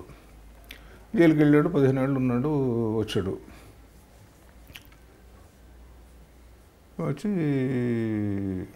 ఏదో వ్యాపారం చేశాడు లేకపోతే ఇంకేదో చేశాడు. పది కోట్లు సంపాదించాడు. చాలా మర్యాదగా ట్రీట్ చేస్తున్నాం మనిషిని. లేదు బ్యాంకుకి ఎగరాము పెట్టి వెయ్యి కోట్ల రూపాయలు సంపాదించాడు. ఎవరు ఏమంటలేదు చాలా గౌరవం మీరు హైదరాబాద్లో ఉన్న పెళ్ళికి వెళ్ళండి ఢిల్లీలో పెళ్ళికి వెళ్ళండి. ఇటువంటి వాళ్ళు మీకు మూడు మంది కనిపిస్తారు. వాళ్ళందరినీ చాలా గౌరవంగా ట్రీట్ చేస్తుంది సంఘం.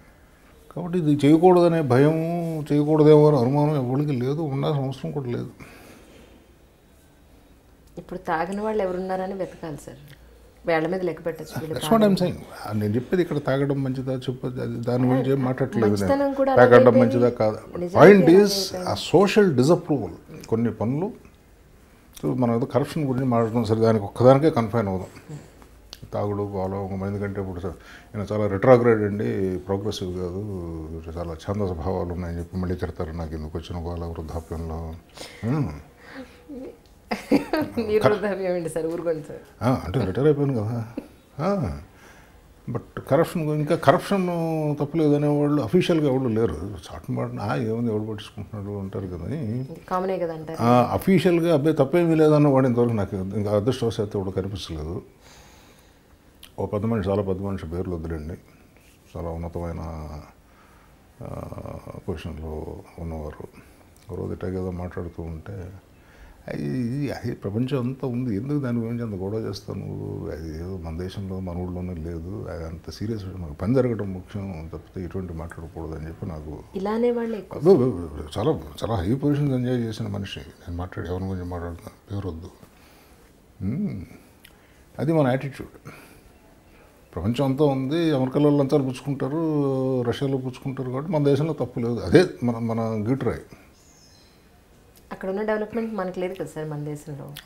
ఎందులో అది కాదు ఇందాక నేను ఇందాక రామస్వామి చౌదరి గారి పద్యం చెప్పిన దానికి మన డెవలప్మెంట్ ఉంటే రైట్ అయిపోతుంది అది? ఎప్పటికీ కాదు. తప్పు తప్పే. ఇప్పుడు అమెరికాలో నాలుగేళ్ళ క్రితం ఒకసారి ఇప్పుడు అమెరికా వెళ్ళాను అంటే మూడేళ్ళు మూడు సార్లు వెళ్ళాను నేను. ఫస్ట్ టైం వెళ్ళినప్పుడు ఫ్రెండ్స్ ఉన్నారు కొంతమంది. ఒక రెండు రోజులు న్యూయార్క్లో ఉన్నాను రోజు రాత్రి పూట ఇట్లా కూర్చున్నది కబుర్లు చెప్పుకొని కాలక్షేపం చేస్తున్నాం. ఏదో మాట్లాడుతుంటే ఒక ఫ్రెండ్ చెప్పాడు ముగ్గురు ex governors of New York state జైల్లో ఉన్నారు. ఆయన కరప్షన్ చేసి ప్రూవ్ అయ్యి జైల్లో ఉన్నారు అక్కడ. కరప్షన్ ఉంటుంది.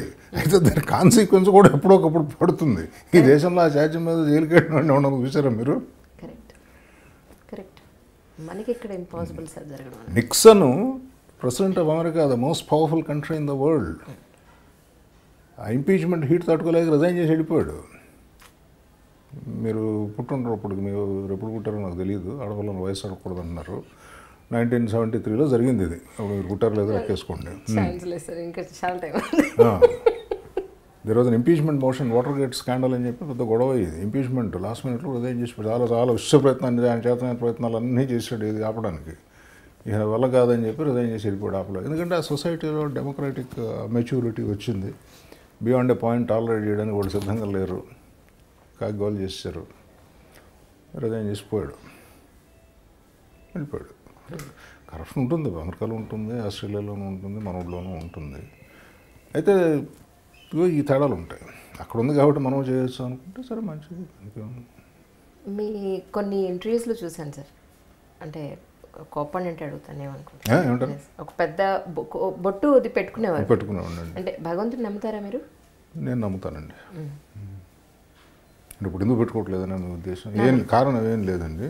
ఎలర్జీ వచ్చి ఇక్కడ మచ్చపడిపోయింది దాంతో మానేశాను. అంత తప్పితే నేను మతం మార్చుకోలేదు. లేకపోతే ఇతరత్ర కారణాలు ఏం లేవు కొంచెం లైట్ అంటే కొంచెం కృష్ణవర్ణం కాబట్టి మీకు తొందరగా కనిపిస్తుంది. జాగ్రత్తగా చూస్తే కనిపిస్తుంది ఇప్పటికి. ఒక స్టైల్ బాగా కనిపించేది. ఓహో. ఓకే. అంటే అలా కాదు సార్. అంటే అసలు భగవంతుని మీరు అదే ఆ కాన్సెప్ట్ నమ్ముతారా లేదా నేను? నమ్ముతాను. ఏదో మనకు తెలియని ఏదో ఉన్నది. దానికి మీరు ఏం పేరు పడతారు అనేది వేరే సంగతి. అంటే నేను ఏదో భగవంతుడు అంటే ఇలాగే ఉంటాడు ఆయన నాలుగు కాళ్ళు నాలుగు చేతులు ఉంటాయి.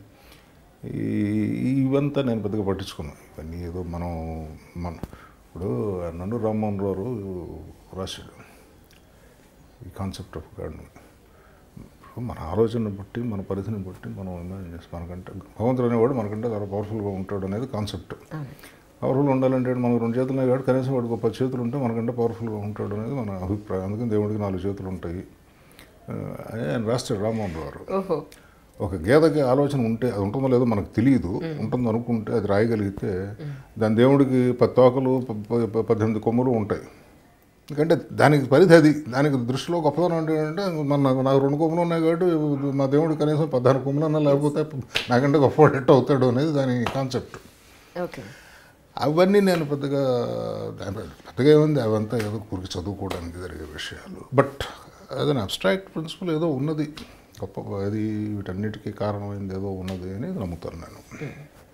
సార్ ఈ మధ్య ఇచ్చిన సుప్రీంకోర్టు ఒక పాయింట్ ఏంటంటే అడల్టరీని ఆల్మోస్ట్ లెగ్లెస్ చేసినట్టే అనుకోవచ్చు అంటారా? అది ఎంతవరకు సబబు? అంటారు? అది నేను చెప్పడానికి అలా కాదు సార్. అంటే మీరు ఒక అత్యున్నత న్యాయస్థానంలో ఒక మంచి పొజిషన్లో ఉన్న మనిషి సమాజం గురించి మన దేశం గురించి పూర్తి స్థాయిలో ప్రతి మైన్యూట్ పాయింట్ గ్రౌండ్ లెవెల్ దగ్గర నుంచి మీకు తెలుసు. గొప్ప చదువు చదివి ఉన్నారు. చెప్పాను కదా. ఒకటేమిటంటే ఇది నేరము అనేది మనకి ఇండియన్ పీనల్ కోడ్ నూట యాభై ఏళ్ళు సుమారుగా eighteen eighteen seventy one seventy two మీద ఉండాలి. Penal code. అంతకుముందు భారతదేశంలో ఇండియన్ పీనల్ కోడ్ లేని రోజుల్లో అడల్టరీకి ఎవరిని జైల్లో పడ్డం అనేది లేదు. అది సాంఘికంగా అది తప్ప అప్రూవ్ చేస్తారా చేయరా చేశారా లేదా భారతదేశంలో అనేది వేరే విషయం. వాడిని ఈ పని చేసిన వాడిని జైల్లో పెట్టడం అనేది అంతకుముందు మన దేశంలో లేదు. పంతొమ్మిది వందల నలభై ఐదుకు ముందు ఈ దేశంలో బహుభార్యాత్వం అనేది ఇలీగల్ కాదు. కాళేశ్వరరావు గారు బెగామస్ మ్యారేజెస్ ప్రొహిబిషన్ యాక్ట్ అని చెప్పి తెచ్చారు మనకి మెడ్రాస్లో. అంతకుముందు వరకు మగవాడు మోర్ దాన్ వన్ వైఫ్ ఉండడం అనేది పూర్తిగా చట్టబద్ధమైన దానివల్ల ఏం జరుగుతుంది? ఎవరెవరి కష్ట సుఖాలు కలుగుతాయి అబ్సల్యూట్ రూల్స్లో అది రైటా తప్ప అది ఎవరు నేను మీరు డిసైడ్ చేయాలి ఎవరు అది ఎవరో డిసైడ్ చేయాలి. దీంట్లో అబ్సల్యూట్స్ ఏమీ లేవు ఇందులో. అట్లాగే స్త్రీలు having more than one husband అనేది నామ్ కాకపోయినా మహాభారతంలో చూసాం మనం. కొన్ని కొన్ని సొసైటీస్లో కొన్ని కొన్ని ఏరియాస్లో ఆచారం అది కాస దేశకాలమాన పరిస్థితులను బట్టి మారే వాల్యూ సిస్టమ్ ఇది. బైబిల్లో స్టోరీ ఉంటుంది. ఆవిడెవరో వ్యభిచారం చేస్తుందని రాళ్ళేసి కొడుతుంటే జీసస్ పోయి మీలో తప్పు చేయని వాడు కూడా ఫస్ట్ ట్రై వేయమంటాడు. ఎవడు వేయడు. అంటే ఏంటి అందరూ ఎప్పుడో రెండు ఎప్పుడు పాయింట్ ఏంటంటే ఇది కొత్తగా వచ్చిన వ్యవహారం కాదు ఇది. కృష్ణయాది నుంచి ఉన్న సమస్య. అది తప్ప రైటా అంటే పంతొమ్మిదవ శతాబ్దంలో బ్రిటిష్ వారు వాళ్ళు అప్పుడు ఉన్న వాళ్ళ మరల్ వాల్యూ సిస్టమ్ బట్టి ఇది రైట్ కాదు అని అనుకుంటూ లా పెట్టారు. అదే బ్రిటిష్ సమాజంలో మీరు విన్స్టన్ చర్చిల్ హిస్టరీ చదివినట్లయితే గతించిన వారిని గురించి మాట్లాడకూడదు బట్ ఇవన్నీ రికార్డెడ్ పబ్లిష్ అయిన facts Churchill's mother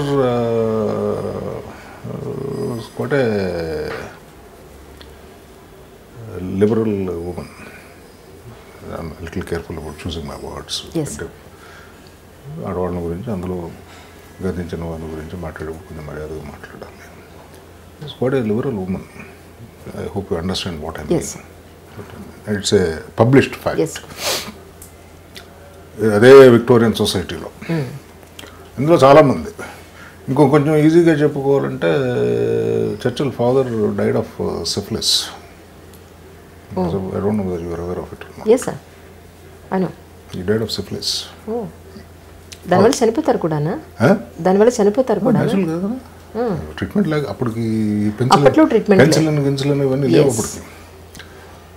వాళ్ళకి ట్రీట్మెంట్ చేసుకోకపోతే ఒక కొంతకాలానికి పోతారు. It affects the nervous system okay so ఇవన్నీ ఎప్పుడు ఉన్నవే ఇది రైటా తప్ప అనేది ఏమిటి కొత్త కొత్త పెద్ద ఏమిటి ఎక్కడ లేదు దీనికి. కోర్టుకు పోయారు. ఇది రాజ్యాంగ విరుద్ధం. స్త్రీలకు స్వాతంత్రం కావాలి. లేకపోతే ఎవరిష్టం వాడది వీడెవడు స్టేట్ ఎవరు డిసైడ్ చేయడానికి అన్నారు. హైకోర్టు సుప్రీంకోర్టు కాన్స్టిట్యూషన్ బెంచ్ కరెక్టే రాజ్యాంగ విరుద్ధం అన్నారు. ఆ తర్వాత మనం మాట్లాడేది ఇ- ఇంతవరకు కొద్దో గొప్ప కొంత భయం ఉండేది. ఇలా చేయడం తప్పు లేదా పది మందిలోకి ఇది తెలియకూడదు అనే ఒక భయం. కానీ ఇది రావడం వల్ల నిర్భయంగా లేదంటే నిర్లజ్జగా చేసే అవకాశం ఎక్కువ ఉంటుంది కదా అని. ఖచ్చితంగా చెప్తున్నాను కానీ ఉండొచ్చు. ఉండొచ్చు. ఎందుకంటే ఈరోజు అదే వాట్సాప్ మెసేజ్లు వస్తున్నాయి. మొన్న ఎవరు పంపించాడు ఒక వాట్సాప్ మెసేజ్. నా it's perfectly legal to take your neighbour's wife to Sabarimala అని చెప్పి అప్పుడు వాట్సాప్ మెసేజ్ పంపాడు. Jokes apart. అవును సార్. అవును. బట్ అమ్మా ఇవన్నీ వాల్యూ జడ్జ్మెంట్స్. అవును సార్. ఇప్పుడు చేయదలుచుకున్నవాడు ఎన్ని ఎన్ని చట్టాలు ఉన్నా చేస్తారు చేస్తూనే ఉన్నారు. This lot of hypocrisy in these matters ఈ సెక్షువల్ మొరాలిటీ మీద. ఈ ప్రపంచం అంతటా మనకు మనకు కొంచెం ఎక్కువ ఉంది. హిపోక్రసీ ఇటువంటి పని చేసేవాడు కూడా దాని గురించి చాలా గట్టిగా ఖండిస్తారు. ఇప్పుడు ఈ ఇటువంటి అభిప్రాయం ఉన్నవాడు కంపల్సరీగా డివోర్స్ అయి ఉండాల్సిన అవసరం ఏం లేదు. వాడు ఇంటలెక్చువల్ ఒపీనియన్ వేరును వాడి పర్సనల్ కాండక్ట్ వేరే ఉంటుంది. డెఫినెట్గా సార్ డౌట్ లేదు. ఏంటంటే ఇవన్నీ వాల్యూ జడ్జ్మెంట్స్ సరే నన్ను అడిగారు. చెప్పాను కదా I am neutral to these things ఇది వ్యక్తిగతమైన విషయాలు ఇవన్నీ నేను. శ్రీ గారు చెప్తాడే వ్యక్తుల ప్రైవేటు జీవితాలు వారి ఇష్టం పబ్లిక్ నిలబడితే అది మోర్ ఇంపార్టెంట్ మనకి. వాడి ప్రైవేట్ లైఫ్ ఏమిటి అనేది పెద్ద రెలవెంట్ కాదు. ప్రైవేట్ లైఫ్స్లోకి వెళ్తే మీకు కొంతకాలం క్రితం అన్నపురెడ్డి వెంకటేశ్వర్లు గారు అని చెప్పి మిస్సిమ్ అని ఒక మ్యాగజైన్ వచ్చేది ఆయన ఎడిటర్గా ఉండరు. ఇప్పుడు ఆయన ఉన్నట్లేదు ఎడిటర్గా వేరే ఎవరో రన్ చేస్తున్నట్టున్నారు. నేను వెళ్ళి పదేళ్ళు అయిపోయింది ఊరు నుంచి. ఆ తర్వాత వెంకటేశ్వర రెడ్డి గారు దాన్ని దాని ఎడిటర్గా ఉండేవారు. వెంకటేశ్వర రెడ్డి గారు ఒక బుక్ పబ్లిష్ చేశారు. మేధావుల మెతకలు అని చెప్పి ఒక ఆరుగురు prominent personalities in history Ernest Hemingway అని పేర్లు కూడా గుర్తులు పదిహేను ఏళ్ళ క్రితం అప్పుడు చదివాను ఆ, ఐదు ఆరుగురు ఆరుగురు వాళ్ళ personal lives all of them had some problems problem అంటే ఇటువంటి ఏవో ఉన్నాయి వాళ్ళ జీవితాల్లో they were much married men or they had more than one woman in their life అటువంటి ఏవో ఉన్నాయి అది బుక్ పబ్లిష్ చేశాడు రంగపురెడ్డి గారు వెంకటేశ్వర రెడ్డి గారు ఆ తర్వాత జస్టిస్ పిఏ చౌదరి గారిని ఉండేవారు మనకి. ఇప్పుడు లేరు. వారు ఒక లెటర్ రాశారు. అన్నపురెడ్డి వెంకటేశ్వర రెడ్డి గారికి వాళ్ళు చాలా గొప్పవాళ్ళు. ఈ ఆరుగురును. అఫ్కోర్స్ అదర్వైజ్ అసలు ఎక్స్ట్రాడినరీ పీపుల్ అది పేరు నాకు గుర్తు. ఏమైనా స్టమింగ్ వే పేరు ఒకటి గుర్తున్నది. మోస్ట్ ప్రాబబ్లీ నాకు రెడీ గుర్తు రావట్లేదు. పేర్లు ఉన్నాయి. చూస్తాను. పేర్లు ఎవరైనా బట్ చాలా అదర్వైజ్ సెలబ్రేటెడ్ పీపుల్ వాళ్ళ వ్యక్తిగత జీవితాల్లోకి ఇలా చూసి రాయడం తప్పు ఇలా చాలా అపచారం అంటే చేయకూడదు అని చెప్పి పిఎస్ చౌదరి గారు ఉత్తరం రాశాడు వెంకటేశ్వర రెడ్డి గారికి. సెకండ్ ఎడిషన్లో వెంకటేశ్వర రెడ్డి గారు ఆ ఉత్తరం పబ్లిష్ చేసి ఇంటలెక్చువల్ ఆనెస్టీ అంటే అది ఆ క్రిటిసిజం చౌదరి గారు లెటర్ పబ్లిష్ చేసి దానికి రిప్లై కూడా పబ్లిష్ చేశాడు. ఓకే అయ్యా వాళ్ళని తప్పు పట్టడం నా అభిప్రాయం కాదు. వాళ్ళ గొప్పతనం ఎరగని వాడిని కాదు. వాళ్ళు గొప్పవాళ్ళు కాబట్టి పుస్తకం రాశాను ఈ పని చాలామంది చేస్తారు బజార్లో వాళ్ళందరి గురించి నేను రాయలేదు.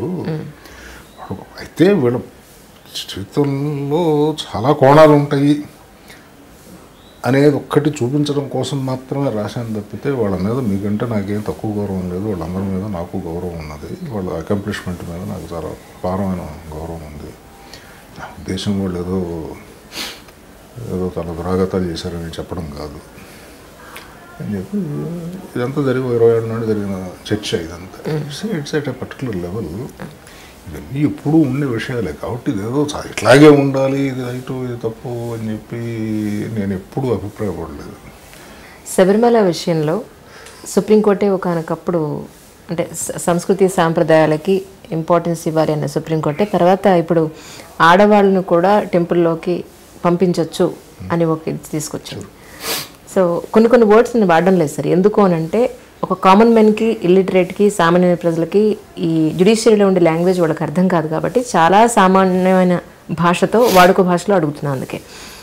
సో ఈ- అంటే సంస్కృతి సాంప్రదాయాలు మన భారతీయ సంస్కృతి సాంప్రదాయాల విషయంలో కూడా సుప్రీంకోర్టు జోక్యం చేసుకుంటోంది అన్నదాన్ని మీరు సమర్థిస్తారా? సమర్థించడం అనే పదం మీరు తీసేసేయండి. సమర్థించడం సమర్థించకపోవడం అనేది దానికి ఎందుకంటే దాని ఇంప్లికేషన్స్ వేరే ఉంటాయి. రైట్ రైట్ సార్ సో మీరు మీరు ఎలా అనుకుంటున్నారు? ఒకటి ఏమిటంటే ఇది ఎసెన్షియల్గా నా దృష్టిలో లెజిస్లేచర్కి సంబంధించిన విషయం. శబరిమల టెంపుల్లోకి స్త్రీలు ఓ పర్టికులర్ ఏజ్ గ్రూప్లో ఉన్న స్త్రీలు వాళ్ళు ఇప్పుడు శబరిమల టెంపుల్లోకి లేడీస్ ప్రొహిబిటెడ్ చిన్నపిల్లలకు ప్రవేశం you understand what I mean yes చిన్నపిల్లలను తర్వాత మళ్ళీ ఈ డేట్స్ ఎవరైతే కంప్లీట్ అయిపోయిన వాళ్ళు ఉంటారో వాళ్ళు వెళ్ళొచ్చు. అదే కాబట్టి స్త్రీలు రాకూడదని లేదు అక్కడ. ఒక పర్టికులర్ అది ఇది ఏమిటి దానికి రీజన్ ఏమిటి ఉన్నదా అది జస్టిఫైబులా కాదా అనేది నేను ఉండి నిర్ణయించేవాడిని కాదు. ఎందుకంటే అది ఎందుకు పెట్టారో అది ఎవడు పెట్టాడో నాకు తెలియదు. దానికి పై వెనకాల ఉన్న దానికి ఏదన్నా రిలీజియస్ సిగ్నిఫికెన్స్ ఏమన్నా ఉన్నదా అనేది నాకు తెలియదు. కాబట్టి దాని గురించి నేను మాట్లాడను. అయితే ఇదొక ఆచారం. ఎంతకాలం నుంచి ఉందో మనకు తెలియదు మనకు తెలిసినప్పుడంతా ఉంది.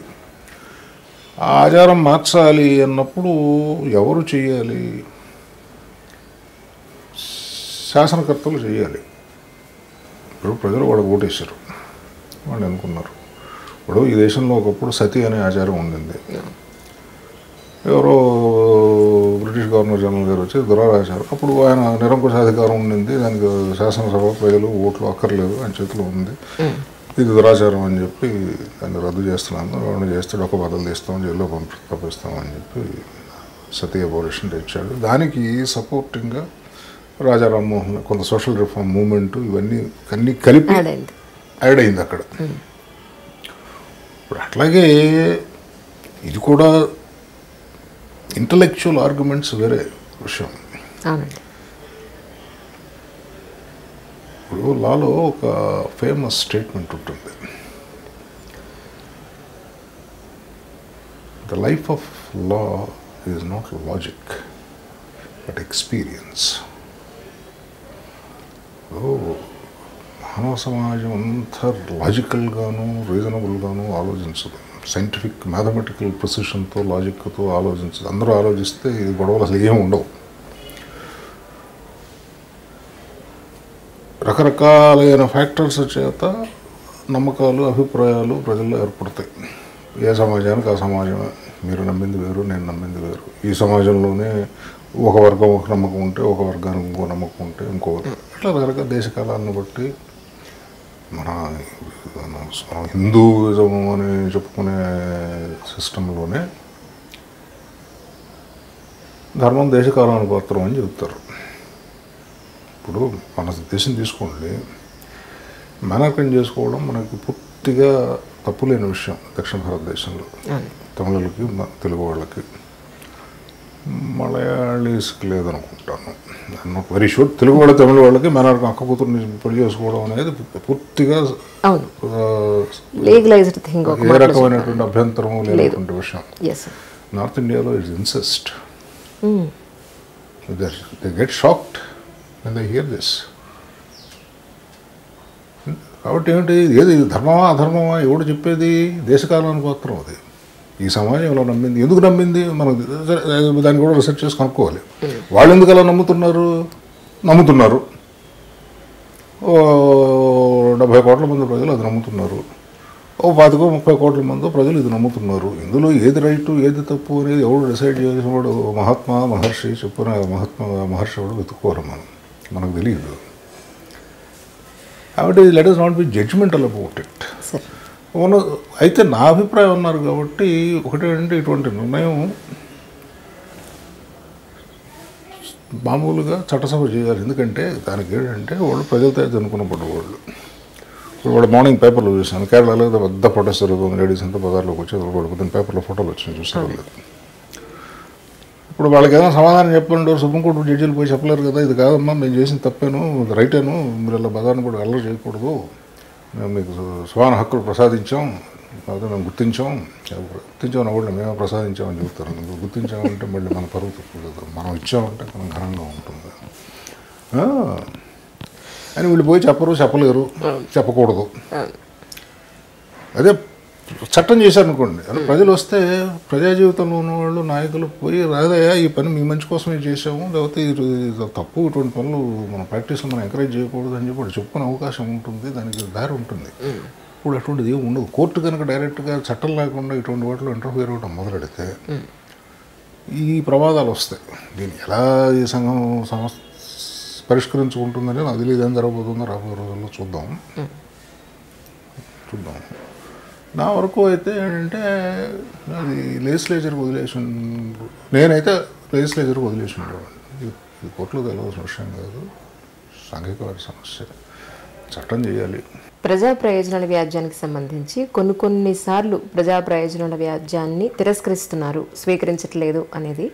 అంటే ఎటువంటి పరిస్థితుల్లో స్వీకరిస్తారు? ఎటువంటి పరిస్థితుల్లో తిరస్కరిస్తారండి? అదేంటండి అంత మాట అన్నారు? అంటే దీనికి యాడ్ స్టిక్స్ లేవు. కూర్చొని జడ్జిని బట్టి ఉంటుంది. నేను నేను సేకరించేది నేను నా yardsticks may not or not universal నా పక్కన జడ్జి గారికి డిఫరెంట్ యాడ్ స్టిక్స్ ఉండొచ్చు. ఆ- ఆ- పబ్లిక్ ఇంట్రెస్ట్ లిటిగేషన్ దాంట్లో ఉన్న ప్రమాదమే అది. Oh it one it started ప్రజా ప్రయోజన ప్రజాహితమైన రాజ్యం అనేది ప్రవేశపెట్టినప్పుడు ఎవడికి దుర్బలులకి వారి కాదు వారు ఎక్స్పోజ్ చేసుకోలేని వారికి తగిన ఆర్థిక వనరులు లేని వారి కోసం వారి తరఫున ఎవరైనా చేయొచ్చు అనే సిద్ధాంతంతో మొదలైన లిటిగేషన్ ఇది. వాళ్ళ చీఫ్ మినిస్టర్ని దింపేయాలి పలానా మంత్రి గారు ఆడపిల్లల కాలేజీ ముందు నుంచుని రథవేషాలు వేస్తున్నాడు కాబట్టి ఈయన మంత్రిగా ఉండడానికి తగడు. ఇవన్నీ ఈ పబ్లిక్ పొలిటికల్ డిస్కోర్స్ ఇది. ఇప్పుడు పొలిటికల్ డిస్కో మినిస్టర్ గారు అవినీతి చేశాడు నింపేసేయండి అని ఎవడు చెప్పాలి? అపోజిషన్ పార్టీ వాళ్ళు చెప్పారనుకోండి మీరు రాజకీయాల్లోకి ఎంటర్ అవుతున్నారు కోర్టు. ఇప్పుడు ముఖ్యమంత్రి గారు ప్రధానమంత్రి గారు ఇంకొకరు ఇంకో నేను ఎవరు వ్యక్తిగతంగా ఎవరిని ఉద్దేశించి మాట్లాడట్లేదు. పబ్లిక్ ఇంట్రెస్ట్ లిటిగేషన్ అంటే చెప్తున్నాను. ఇప్పుడు అది మన రాష్ట్రంతో చూసాం మనం. ఎన్టీ రామారావు గారితో మొదలైంది ఎనభై ఏడులో పబ్లిక్ ఇంట్రెస్ట్ లిటిగేషన్ అని వేశారు. ఏదో ఆయన చేశాడు అక్రమం సక్రమం. ఏదో చేశారు ఏదో తీర్పు ఏదో రాశారు. ఆయన అప్పీల్ చేసుకున్నాడు. అప్పీలు ఆయన జీవితకాలంలో నిర్ణ- నిర్ణయం కాలేదు. ఆయన జరిగింది ఏంటంటే అప్పీల్ హీరింగ్ జరిగింది సుప్రీంకోర్టులో. నేనే పోయి రామ్ జత్మలాని గారిని అసిస్ట్ చేశాను ఆ కోర్టులో కేసులో. ఆ జడ్జిమెంట్ రిజర్వ్ చేసి పాపం సవ్యసాచి ముఖర్జీ గారు కాన్స్టిట్యూషన్ బెంచ్ ఐదుగురు జడ్జి సవ్యసాచి ముఖర్జీ గారు నేతృత్వంలో జరిగింది. సమ్మర్ ముందు విని రిజర్వ్ చేసి ఆయన లండన్ వెళ్ళాడు హాలిడేకి హాలిడేకి వచ్చి పోయాడు ఆయన ఆ జడ్జిమెంట్ డెలివరీ కాల. మళ్ళీ ఆ అరిష్టాలన్నీ తీరి ఆ కేసు మళ్ళీ లిస్టులోకి వచ్చానంటే ఎన్టీ రామారావు పోయాడు ఎన్టీ రామారావు పోయాడు కాబట్టి సర్వైవింగ్ కాదు యాక్షన్ లేదు డిస్మిస్ అని చెప్పి కోడేశారు. ఏదో జరిగింది. అది మైనర్ పాయింట్ అది కాదు. ఓకే. మన దగ్గర మొదలైంది. ఓకే. ఇది ముఖ్యమంత్రుల జవాబుదారీతనం ఇప్పుడు ముఖ్యమంత్రి గారు పలానా ముఖ్యమంత్రి గారు ఈ పలానా ఫైల్ క్లియర్ చేయడానికి డబ్బులు పుచ్చుకున్న లంచం పుచ్చుకున్నాడు లేకపోతే ఇంకొక ఇంకోటి ఏదో చేశాడు లేకపోతే స్థలం తీసుకున్నాడు ఇంకోటి ఏదో చేయకూడని చట్టవిరుద్ధమైన పని ఏదో లాభం పొంది దానివల్ల దానికోసం ఈ డెసిషన్ తీసుకున్నాడు అనేది స్పెసిఫిక్ క్రైమ్. దానికి ఒక ప్రొసీజర్ ఉన్నది. ప్రివెన్షన్ ఆఫ్ కరప్షన్ యాక్ట్ ఒకటి ఉన్నది. దాని కింద ప్రొసీజర్ ఉంది. క్రిమినల్ కేసు లాడ్జ్ చేసి సాక్ష్యాధారాలు పెట్టి అది ప్రూవ్ చేసి వాడు జైలు పంపించగలిగితే పంపించండి. ఇప్పుడు ఆవిడ జయలలిత గారి మీద ఇటువంటి కేసు పెట్టారు. సరే జిల్లా కోర్టులో ప్రూవ్ అయిందన్నారు హైకోర్టులో ప్రూవ్ కాలేదన్నారు. సుప్రీంకోర్టుకి వెళ్ళేప్పటికి రాత్రి ప్రాగుండాను వారు కాలం చేశారు అయిపోయింది. అది నార్మల్ కోర్స్ అది. ఎందుకంటే act prevention of rule of law అంటే ఏమిటి? చట్ట ప్రకారం జరగాలి ఏం జరిగినా. ఒక వ్యక్తిగతమైన మనుషుల ఇష్ట ఇష్టాల మీద నిర్ణయాలు కాకూడదు. నాకు ఈయన మొహం నచ్చలేదు కాబట్టి ఈయన వృద్ధి ఏంటి అన్నాను లేదు ప్రజాస్వామ్యంలో. మీరు బిలీవ్ ఇన్ కాన్స్టిట్యూషన్ గవర్నెన్స్ ఈ మనిషి ఈ తప్పు చేశాడు ఈ చట్ట ప్రకారం ఈ తప్పు చేశాడు కాబట్టి దీనికి ఈయన శిక్షార్హుడు అని చెప్పి చాలా తప్పితే నాకు నచ్చలేదండి ఆయన చేసిన పనులు కాబట్టి నేను అది ఇది ప్రజాస్వామ్యం కాదు. ఈ పబ్లిక్ ఇంట్రెస్ట్ లిటిగేషన్ వీటన్నిటిలోకి వచ్చేసింది. ఇందులో యూజ్ ఉంటుంది. కొన్ని కొన్ని జెన్యున్గా ప్రజాహితమైన విషయాలు చర్చించవలసిన విషయాలు ఉంటాయి. కొన్నిట్లో పూర్తి రాజకీయమైనటువంటి డిస్కోర్స్. కోర్టుకు పోతే ఇప్పుడు పార్లమెంట్లో అంటే ఏమిటవుతుందంటే సేఫ్టీ వాల్స్ బస్ట్ అయిపోయింది ఇప్పుడు అపోజిషన్ పార్టీ వాళ్ళని పోలింగ్ పార్టీ వారు పార్లమెంట్లోనే అసెంబ్లీలోనూ మాట్లాడలేదు అనుకోండి మా నెంబర్ ఉంది మా నెంబర్ ఉంది స్పీకర్ గారు మా పార్టీ వాడు. వాళ్ళకి టైం ఇవ్వడు మాట్లాడినప్పుడు షటిల్ చేస్తున్నాడు. మైక్ ఆఫ్ చేస్తారు. ఆఫ్ చేస్తాడు ఏదో చేస్తాడు. ఆయన ఎక్కడ పోయి చెప్పుకొని కోర్టుకు పోయి చెప్పుకుంటే పొద్దున్న మీరు అంతా పేపర్ వాళ్ళంతా పోయి రాసుకుని పొద్దున్న పేపర్లో వేస్తారు కాబట్టి అక్కడ పోయి చెప్పుకుందాం. ఇది ఒక ఇదంతా ఏంటంటే little deviation from the democratic system. So ఏది కొట్టేయవచ్చు ఏది కొట్టేయకూడదు అనేది చాలా సునిశ్చితంగా ఆలోచించి నిర్ణయం తీసుకోవాలి. అది వినయ్ జడ్జిని అందుకని చెప్పింది వినయ్ జడ్జిని బట్టి ఉంటుందమ్మా. వారి వారి పరిపక్వతను బట్టి వారి అండర్స్టాండింగ్ వారి అభిప్రాయాలు కొన్ని ఉంటాయి వినయ్ జడ్జి గారికి. అలాగే సార్ రాష్ట్రాల వారీగా ఇప్పుడు ఆంధ్రప్రదేశ్లో మాకు ఒక సపరేట్ హైకోర్టు ఇచ్చేయండి అని అంటున్నారు.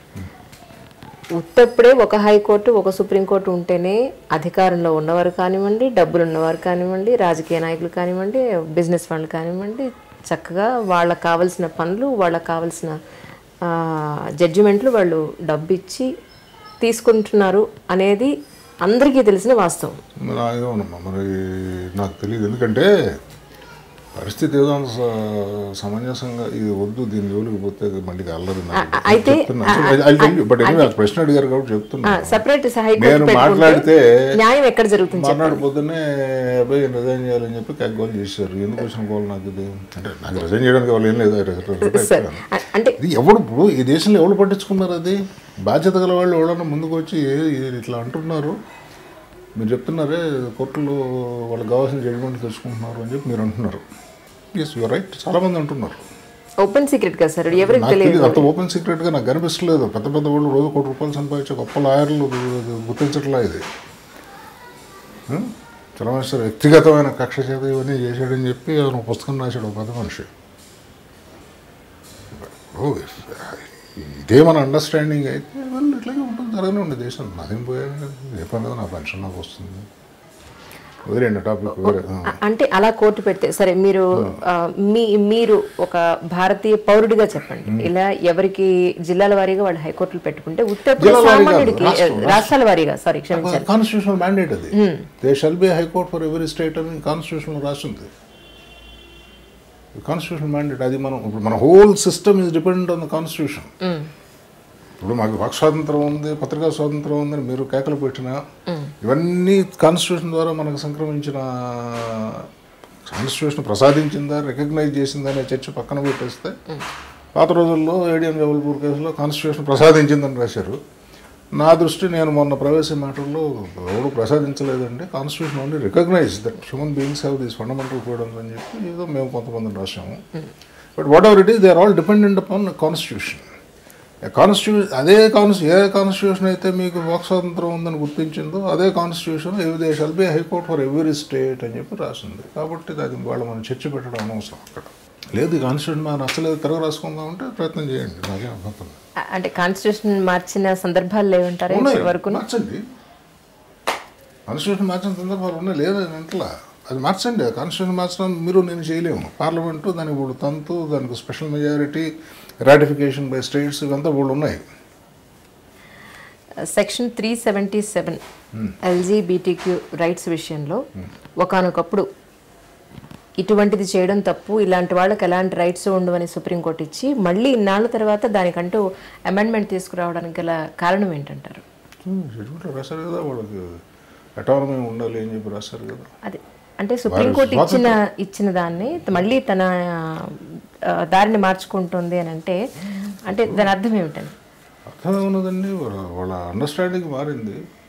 అప్పుడు ఈ దేశానికి సోషలిజమే శరణ్యం అని చెప్పి నమ్మి అందరూ సోషలిజం గురించి మాట్లాడారు. దేశంలో మీరు మీరు ఇంకా పుట్టుండ్రు అప్పటికి. డెబ్భై శతకంలో అరవై శతకంలో అంటే కాలానుగుణంగా మార్పులు సమాజంలో మార్పులు ఎలా వస్తున్నాయో. అలాగే ఈ- చట్టాల విషయంలో కూడా వచ్చే అవకాశం ఉంటుందంటారు. మీ ఇందాక మీకు చెప్పానే పంతొమ్మిది వందల నలభై ఐదు వరకు బహుభార్యత్వం నిషేధం కాదండి. మరి అట్లా అని వాళ్ళ సరే అడల్టరీ అఫెన్స్ కాదన్నారు కానీ రెండో పెళ్ళి చేసుకుంటే వాళ్ళకి అఫెన్స్ ఫస్ట్ వైఫ్ కంప్లైంట్ ఇస్తే జైలుకి పోతాడు రెండో పెళ్ళి చేసుకున్నవాడు ఇల్లీగల్గా రిలేషన్ పెట్టుకుంటే ఓకే. రెండో పెళ్ళి చేసుకుంటే ఎందుకంటే దాని ఇంప్లికేషన్స్ ఉన్నాయి.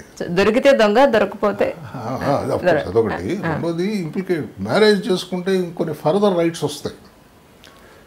ఫర్దర్ రైట్స్ వస్తాయి. ఈ రిలీవ్ అండ్ రిలేషన్షిప్లో ఫర్దర్ రైట్స్ మెయింటెనెన్స్ క్లెయిమ్ చేయడాలు ఇట్లాంటి గొడవలు అంటే ఇండియాలో రాలేదు ఇతర దేశాల్లో వచ్చినాయి ఇంకా మన దగ్గర ఏవో ఇన్సిడెంటల్ ప్రాబ్లమ్స్ కొన్ని ఉంటాయి. సో బహుభార్యాత్వం అనేది చట్టవిరుద్ధం కాదు అనేది నైన్టీన్ ఫార్టీ ఫైవ్ వరకు ఈ దేశంలో ఉన్న అండర్స్టాండింగ్. ఫార్టీ ఫైవ్ తర్వాత నెమ్మదిగా ప్రాసెస్ తేడా వచ్చింది. ఇప్పుడు అట్లాగే ఈ త్రీ సెవెంటీ సెవెన్ యాక్టివిటీ ఇది తప్పు నేరం అని చెప్పి నమ్మరు ఒక నూట యాభై ఏళ్ళు. అరే వాళ్ళ అది అంత పెద్ద పట్టించుకోవాల్సిన విషయం కాదు నేరం ఒకటి దాని అంటే జడ్జిమెంట్ వారు ఏం రాశారో నేను పూర్తిగా చదవలేదు. I don't know whether you are aware of it or not Babur was a homosexual he was a bisexual actual do you know that read Baburnama okay so అప్పట్లోనే ఉంది. ఇప్పుడు. కాకపోతే బయటికి రాలేదు. వాళ్ళు టీవీ ఛానల్స్ పేపర్లో వచ్చేసిన తర్వాత ఇవన్నీ ప్రతి. వస్తున్నాయి తప్పితే ఇవన్నీ సృష్టి ఆది నుంచి జరుగుతున్న విషయాలే. Babur was a bisexual just read Baburnama. నా సొంతంగా నేను కలగని చెప్పట్లేదు. రాసుకున్నాడు. అవును. కాబట్టి ఏదో కొత్తగా వచ్చిన ప్రమాదం ఏదో కాదు. సరే మధ్యలో ఒక స్టేజ్లో బ్రిటిష్ వాళ్ళు వచ్చిన తర్వాత అప్పుడు వాళ్ళకున్న బ్రిటిష్ మొరాలిటీ ప్రకారం విక్టోరియన్ మొరాలిటీ ప్రకారం ఇది తప్పు అని చెప్పి చట్టం చేసి మనకు కూడా పెట్టారు. మనం కూడా ఇది బాగానే నచ్చిందో నచ్చలేదో ఒకటి ఏంటంటే అసలు ఎంతమంది దాని గురించి పట్టించుకున్నారు ఈ దేశంలో? నాకు తెలిసి ఆ సెక్షన్ కింద ఇంతవరకు ఎవరిని ప్రాసిక్యూట్ చేయలే. అసలు వీళ్ళు ఎందుకు పోయి కోర్టుకు పోయింది ఏగీ చేశారో నాకు అర్థం కాలేదు. ఆ సెక్షన్ కింద ఎవరిని ప్రాసిక్యూట్ చేసినట్టు నాకు తెలియదు మీకు ఎవరిని తెలిస్తే చెప్పండి. నాకు తెలిసి ఎవరిని ప్రాసిక్యూట్ చేయలేదు నూట యాభై ఏళ్ళలో. ఏదో ఎవడేడు అంటే కొంచెం మనం మామూలు మన ఇంట్లో భాషలో మాట్లాడుకోవాలంటే ఏదో ఎవడేడు పోడు ఎడుతున్నాడు అది జరుగుతూ ఉండేది. ఇదేదో కొత్తగా వచ్చిన విషయం. ఇది ఎప్పటి నుంచో ఉన్న ప్రాబ్లమే హ్యూమన్ నేచర్లో రకరకాల అన్యూజువల్ థింగ్స్ ఉంటాయి. అందరూ ఒక రకంగానే ఉండరు కదా ఆలోచన విధానం ఇప్పుడు మీకు తీపి ఇష్టం అవ్వచ్చు ఇంకొకటికి తీపి ఇష్టం అవ్వచ్చు. ఇది ఈ విషయంలో కూడా అంతే ఎవడు గొడవ పడుకుంటుంది దానికి అయితే ఎక్కువ మంది చేసే పాటించని దాన్ని కొంతమంది పాటిస్తే మిగతా వాళ్ళు కొంచెం దాన్ని కొంచెం అవమానాస్పదంగా చిన్నచూపు చూస్తారు. అదే జరిగింది. అది దాని గురించి ఇంత పెద్ద డిబేట్. యాక్చువల్గా నా ఉద్దేశం దానికంటే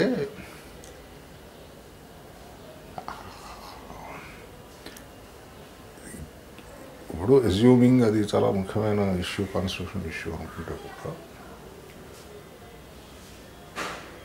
అంతకంటే మొత్తం ఆ ప్రాబ్లం ఎఫెక్ట్ అయ్యే వాళ్ళు ఈ దేశంలో నేను చదివినంత వరకు స్టాటిస్టికల్గా రెండు మిలియన్స్ ఎంతో ఉన్నారు. నూట ముప్పై కోట్ల జనాభాలో రెండు మిలియన్ మనుషుల ప్రాబ్లం ఉంది అంతకంటే పెద్ద నంబరు ఎఫెక్ట్ అయ్యే ప్రాబ్లమ్స్ చాలా ఇష్యూస్ పెండింగ్గా ఉన్నాయి.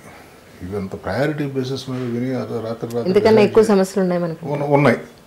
వాటికి అన్నిటికంటే వీటికి ప్రయారిటీ ఇచ్చి విని డిసైడ్ చేసినంత అంత అర్జెన్సీ నాకు ఏం కనిపించలేదు. System roster master of the roster వారు ఏది డిసైడ్ చేయాలి ఏది వినాలి అది పూర్తిగా వారి ఇష్టం కాబట్టి ఇది ముందు విన్నాం అనుకున్నారు విన్నారు. రిటైర్ అయ్యేంత వరకు మీరు కేసులు కోర్టులు చాలా చాలా బిజీగా నడిచిన లైఫ్. రిటైర్ అయిపోయిన తర్వాత. ఇంకా బిజీగా ఉన్నాను.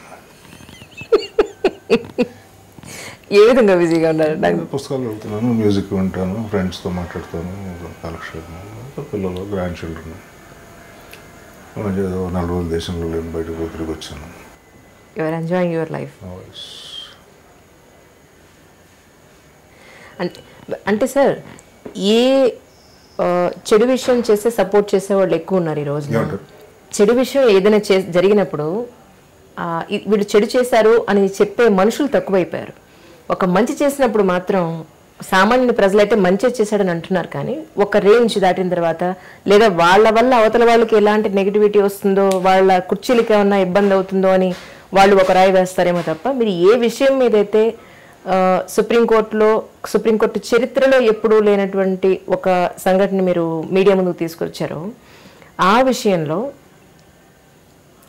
కొలిజియం వ్యవస్థ మీద మీకున్నటువంటి అభిప్రాయం అలాగే ఉంది అన్న మార్చుకున్నారు? నా అభిప్రాయం మారలేదు. నా అభిప్రాయం అలాగే. నా అభిప్రాయం కానీ అంటే ఆ విషయంలో మీరు ఏ విషయంలో అయితే దాన్ని ఖండించారో ఆ విషయానికి వచ్చేటప్పటికి ఇలా జరిగిందే ఇందులో నేను అచీవ్ చేయలేకపోయాను అనే బాధ ఉందా మీకు? బాధ నాకేం ఉండదు. ఇప్పుడు ఈ సృష్టికి నేను నియామకుండా కాదు. నా డ్యూటీ అనుకున్నది నేను చేశాను. దాని ఫలితంతో నాకేం సంబంధం లేదు. అది తర్వాత ఏం జరుగుతుంది? నాకు తెలియదు నా అభిప్రాయం నేను చెప్పాను. నా అభిప్రాయం ఒప్పని వాళ్ళు ఉన్నారు తప్పని వాళ్ళు ఉన్నారు. ప్రజలందరి సపోర్ట్ ఉంది సార్ మీకు. ప్రతి అడగండి. ప్రజలు అందరూ అంటే మనకేం సామాన్యమైన ప్రజలు. కోటి నూట నూట ముప్పై కోట్ల ప్రజల అభిప్రాయం మీరు కలెక్ట్ చేశారా? తెలిసిన వాళ్ళు ఎవరు? మీకు అలా చెప్పారు? అందులో అందులో నేను పక్కకు తీసేది ఎగ్జామ్షన్ చేసేది రాజకీయ నాయకులు కానివ్వండి మీ తోటి మ- కలీగ్స్ కానివ్వండి వీళ్ళని ఎగ్జామ్ చేస్తే కామన్ మెన్ ఏ అభిప్రాయానికైనా సమర్థన ఖండన రెండు ఉంటాయి. ప్రతిదానికి ఉంటాయి. ఎవ- ఎంత ఎక్కువ శాతం ఉన్నది అది తీసుకోవాలి మనకు తెలియదు అది యాక్చువల్గా. అయితే ఇప్పుడు నేను చెప్పిన విషయాలు రైట్ అయిన సంబంధించిన వాళ్ళు కన్సిడరబుల్ నెంబర్ ఉన్నారు. ఈక్వల్గా కన్సిడరబుల్ నెంబరు ఈయన చాలా దుర్మార్గాన్ని చేశాడు అని చెప్పిన వాళ్ళు చాలామంది ఉన్నారు. అది వారి అభిప్రాయం వారిది నా అభిప్రాయం నేను చెప్పాను. వారి అభిప్రాయం వారిది. ఐ రెస్పెక్ట్ మన ఎవరో అడిగితే చెప్పాను. It their liberty I have taken the work to protect their liberties నేనేం కామెంట్ చేయను. మీ అభిప్రాయం నేను తప్పకుండా అనుకోండి. నేను ఏం చేయగలను దానికి? నేను తప్పు అనుకోలేదు. నేను చెప్పాను. నేను చేసిన తప్పు మీరు అనుకుంటే అనుకోండి. నేనేమన్నా ఆపడానికి నేను చట్టవిరుద్ధమైన పనులు ఏం చేయలేదు. నన్ను ప్రాసిక్యూట్ చేయదగిన నా అభిప్రాయం చెప్పడం ప్రాసిక్యూషన్ ప్రాసిక్యూట్ చేయదగిన విషయం కాదు. అది freedom of speech supreme court జడ్జీలు ప్రెస్ కాన్ఫరెన్స్ పెట్ట పెట్టకూడదు ఎక్కడ రాసింది? అదేమంటే సంప్రదాయం. మరి సంప్రదాయం ఇవన్నీ సంప్రదాయాలే. అడల్టరీ అఫెన్స్ అనేది సంప్రదాయం. అక్కడ అక్కడ సంప్రదాయాలు ఇది సృష్టి గారు చెప్తారే? చందో బందోబస్తులన్నీ తెంచేసి అక్కడ సంప్రదాయాలు పడవ ఒక్కర్లా ఇక్కడ ఫాలో అవ్వాలనే లాజిక్ నాకు అర్థం. అది దాన్ని నేను నేను యాక్సెప్ట్ చేయను. అక్కడ జడ్జెస్ కేసులు ఇచ్చే విషయంలో కూడా వాళ్ళకి ఇష్టమైన జడ్జిలకి ఇంపార్టెంట్ కేసులు ఇవ్వడం వాళ్ళకి ఇష్టం తక్కువ కేసులు వీళ్ళకి ఇవ్వడం అనే అటువంటి తక్కువ ఎక్కువ భావనలు ఆ రేంజ్ వాళ్ళకు కూడా ఉంటుందా అనేది మనుషులు కదా. తర్వాత. ఇందులో ఎవ్వడు పూర్ణ పురుషులు కాదు మహాత్ములు విరాగులు కాదు రాగద్వేషాలు ఉన్న మనుషులు. అయితే కొంచెం కంట్రోల్ కొంత డిసిప్లిన్ కొంత ట్రైనింగ్ ఉంటుంది. ఎవడెవడు ఏ స్థాయి వరకు కంట్రోల్ చేసుకోగలరు రాగద్వేషాలు అనేది ఇండివిజువల్ అసెస్మెంట్ అది. అబ్సల్యూట్ సైన్స్ ఎవ్వళ్ళు ఉండరు. ఉంటే ఇగో ఫేమస్ స్టేట్మెంట్ ఎమర్సన్ అనుకుంటాను చెప్తాడు. While the saints are busy in introspection burly sinners run this world అంటాడు ఆయన. చాలా డెప్త్ ఉన్న విషయం? చాలా డెప్త్ ఉన్న విషయం అదే కదా. ఇప్పుడు అబ్సల్యూట్ సైంట్ అనుకో వాడు రాజకీయాలు దొరికిపోడు సుప్రీంకోర్టు జడ్జి ఉద్యోగానికి రాడు. ఆయన ఏదో ఎక్కడో మఠం వేసుకొని కూర్చుని టీవీ ఛానల్కి ఇంటర్వ్యూలు కూడా ఇవ్వడు. ఎవడు? ఇప్పుడు రమణ మహర్షి ఉండేవాడు. ఆయన ప్రపంచంలో ఎక్కడ కనిపించాడు ఎవరికి ఉపన్యాసం ఆయన దగ్గరికి ఎవడన్నా పోతే ఏమన్నా ఎవరన్నా అడిగితే చెప్పేవాడు చెప్తే ఎక్కడ టీవీ ఛానల్లో ఉపన్యాసం వచ్చాడు. టీవీ లేవనుకోండి దేశంలో. ఎక్కడ బయటికి రాలేదు ఉపన్యాసాలు ఇవ్వలేదు ఆయన. అబ్సల్యూట్ సైన్స్ మిగతా వాళ్ళు జడ్జీలు రాజకీయవేత్తలు ఇంకొకరు ఇంకొకరు ఉపన్యాసాలు ఇచ్చేవాళ్ళు. వేరియింగ్ డిగ్రీస్ ఆఫ్ రిఫైన్మెంట్ ఇది. అబ్సల్యూట్ సైన్స్ కాదు ఎవరు. మొన్న హరికృష్ణ గారు పోయినప్పుడు పేపర్లో మెయిన్ ఫోటో వచ్చింది. మీరు కూడా ఆయన కాడ మోసింది. నిజంగా అంటే ఆయనతో మీకున్న అనుబంధం ఏమిటో తెలుసు? నాకు పర్సనల్గా చాలా క్లోజ్ అమ్మా ఆయన. ఎందుకంటే లక్ష్మి అంటే ఆయన భార్య. నాకు బంధువు. బంధువు. కజిన్. మా నాన్నగారును హరికృష్ణ మామగారు చాలా దగ్గర స్నేహితులు బంధుత్వం కొంచెం దూర బంధుత్వం కానీ చాలా దగ్గర స్నేహితులు. ఎందుకంటే ఇద్దరు రూమ్లో కలిసి చదువుకున్నారు. ఇతను నెమ్మకూరులో పెరిగాడు చిన్నప్పటి నుంచి మా ఊరు నుంచి నాలుగు కిలోమీటర్లు. నేను రెగ్యులర్గా నెమ్మకూరు రావడం కూడా బికాజ్ ఆ బంధుత్వం మూలం నేను రావడం అట్లా నాకు చిన్నప్పటి నుంచి తెలుసు. నేనంటే చాలా ప్రేమగా ఉండేవాడు అతను. అది. అంతకంటే వేరే ప్రత్యేకంగా కాదు. చాలా పర్సనల్గా చాలా ప్రేమగా ఉండేవాడు నాతో. రామారావు గారితో మీకు మంచి రామారావు గారితో నాకున్న అటాచ్మెంట్ అసోసియేషన్కి కారకుడు అతను. ఆయన వల్ల నేను రామారావు గారికి క్లోజ్ అయ్యాను. అంటే కొన్ని సంవత్సరాలు అంటే రామారావు గారు తోటి అంత మంచి సాన్నిహిత్యం ఉండి ఒకనొక టైంలో ఆయనకి మీరు సపోర్ట్ చేయలేదు అని అన్న వాదనకి మీరేమంటారు చేయలేదు నేను. ఆధార్ని మనీ బిల్ అని కొంతమంది అంటే ఇక్కడ నేను ఎవరైతే ప్రవేశపెట్టారో ఆ పేర్లని చెప్పినా కూడా మన వాళ్ళకి అర్థం కాదు. సింపుల్గానే అడుగుదాం అనుకుంటున్నా అదే. ఆధార్ని మనీ బిల్ అని కొంతమంది అలాగే దాన్ని ఫినాన్స్ బిల్ అని కొంతమంది అంటున్నారు. మీ ఉద్దేశ ప్రకారం ఎందుకంటే మీరు కూడా అక్కడ వర్క్ చేసి వచ్చినవారు కాబట్టి మీ ఉద్దేశ ప్రకారం అది ఎలా ఉంటే మంచిదని అనుకుంటున్నారు. ఇప్పుడు ఇవన్నీ సుప్రీంకోర్టులో ఆర్గ్యూ చేశారు సుప్రీంకోర్టు ఒపీనియన్ ఇచ్చిన తర్వాత నా అభిప్రాయానికి ఏమిటి వాల్యూ దాని ఉంది సార్. ఏమిటి? డెఫినెట్గా ఉంది సార్. ఎందుకంటే జస్టిస్ చలమేశ్వరి గారు అంటే ఒక నీతి నిజాయితీ ఉందని ప్రజల్లో మంచి పేరు ఉంది సార్ మీకు. డెఫినెట్గా ఉంది. మ్మ్. సో అందుకని సుప్రీంకోర్టు ఒక్కటి ఒక మాట వదిలినంత మాత్రాన ఇప్పుడు ఒక సం- సాంప్రదాయాలని కానీ అది రుద్దలేదు తీసుకొచ్చి. నా నా వ్యక్తిగతమైన అభిప్రాయం అంటే ఎస్ కేసు నిర్ణయం అయిపోయింది నేను- ఉద్యోగంలో లేను కాబట్టి వ్యక్తిగతంగా దేశ పౌరుడిగా నా అభిప్రాయం అంటే అది మనీ బిల్లు అనే అభిప్రాయంతో నేను ఏకీభవించలేను. మనీ బిల్స్ అనేవి నా అండర్స్టాండింగ్ ప్రకారం వాటి పర్పస్ వాటి కాంటూర్స్ డిఫరెంట్ ఇది మనీ బిల్లుగా చలామణి చేయడం అనేది నేను నా వ్యక్తిగతంగా నేను దాన్ని అంగీకరించను మన సెంట్రల్లో కానీ స్టేట్లో కానీ కొంతమంది రాజకీయ నాయకులు తీసుకున్న నిర్ణయాల వల్ల ప్రజలు చాలా రకాలైన ఇబ్బందులు పడుతున్నప్పుడు అది ఎటువంటి రకాలైన ఇబ్బందులు కానివ్వండి. ఆ విషయంలో సుప్రీంకోర్టు కలగ చేసుకుని ఇది తప్పు అని చెప్పే అధికారం సుప్రీంకోర్టు ఉన్నప్పుడు ఇబ్బంది ప్రజలు ఇబ్బంది పడడం అనేది సుప్రీంకోర్టుకి ఎంతవరకు కన్సర్న్ అనేది ఒక వేరే విషయం. రాజకీయ నాయకులు తీసుకున్న నిర్ణయాలు అన్నిటి మీద మనం అప్పలేట్ అథారిటీ కాదు సుప్రీంకోర్టు. చట్టాలు రాజ్యాంగబద్ధంగా చేశారా లేదా అనేది సుప్రీంకోర్టు డిసైడ్ చేయొచ్చు. ఆ చట్టాల implementation enforcement of the acts అది are they consistent with the scheme of the act చట్టబద్ధంగా అమలు చేయబడుతున్నాయా? చట్ట వ్యతిరేకంగా అమలు చేయబడుతున్నాయా? అవి కోర్టు పరిధిలో ఉంటాయి.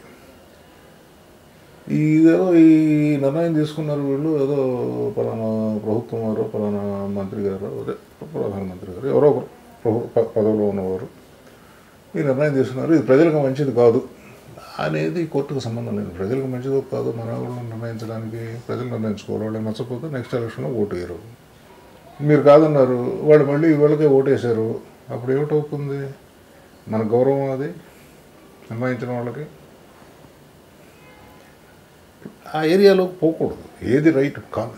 The wisdom of the legislature of the executive is not our concern actions are they consistent with the constitution are the law is with in the jurisdiction of the courts ఇప్పుడు for example ఎవరో ఎన్టీ రామారావు ఎందుకంటే ఉన్న వాళ్ళ గురించి మాట్లాడడం సమంజసం కాదు. NT Ramarao ఉన్నారండి. సార్ వారు రెండు రూపాయలకి కిలో ఉపయోగిస్తామని స్కీమ్ పెట్టారు. అబ్బాయి ఇది మెనాట్ కిన్స్ తీరి ప్రకారం తప్పు లేకపోతే యాడమ్ స్మిత్ తీరి ప్రకారం తప్పు కాబట్టి ఇది తప్పు మేము ఒప్పుకోకూడదు. మీరు ఎవరు నిర్ణయించడానికి? ఆయన నేను ఇస్తానని చెప్పి జనం దగ్గరికి వెళ్ళి ఓట్లు ఎంచుకున్నాడు ఇస్తున్నాడు. మీకు అది తప్పు అనే అభిప్రాయం ఉంటే మీరు పోయి జనం దగ్గరికి వెళ్ళి కంటెస్ట్ చేసి ఓట్లు ఎంచుకుని ఇది తప్పండి రెండు రూపాయల కిలో ఇస్తే ఆర్థిక వ్యవస్థ నష్టపోతుంది దేశం పాడైపోతుంది లాంగ్ టర్మ్ ఎఫెక్ట్స్ బ్యాడ్గా ఉంటాయి. కాబట్టి ఇటువంటి చేయకూడదని ప్రజలను కన్విన్స్ చేసి మీరు ఓట్లు ఎంచుకోండి. ఓట్లు ఎంచుకుని అప్పుడు మీరు తీసేయండి తప్పలేదు. అంతేగాని ఆయన ఎవరో చెప్పాడు మెనాట్ కిన్స్ చెప్పాడు కాబట్టి తప్పు కాబట్టి అది నేను చదువుకున్నాను కాబట్టి ఈయన ఎవరు రెండు రూపాయల కిలో బియ్యం. ఈ- ఇది this is your question in the wisdom of that man ఇప్పుడు అదే ఈ రెండు రూపాయల కిలో బియ్యం ఇటువంటి స్కీమ్స్ అమాత్య సేన్ ఈ చాలా వెల్ఫేర్ స్టేట్లో చాలా అవసరమైన విషయాలు ఇవన్నీ అని చెప్పి రాశాడు ఆయన. అభిప్రాయాలు ఇవన్నీ. అభిప్రాయాల మీద కోర్టులు రియాక్ట్ అవ్వకూడదు క్లాసికల్ సెన్స్లో. ఎందుకంటే ప్రజలకు సంబంధించిన విషయం. ప్రజలు మాకు ఇది కావాలి ఇటువంటి వాడు కావాలి మాకు ఫ్రీగా రెండు రూపాయలకి బియ్యం ఇచ్చేవాడు కావాలి లేదు రేపు పొద్దున మాకు రోజు ఫ్రీగా సారా సప్లై చేసేవాడు ముఖ్యమంత్రిగా కావాలని అడుగుతారండి.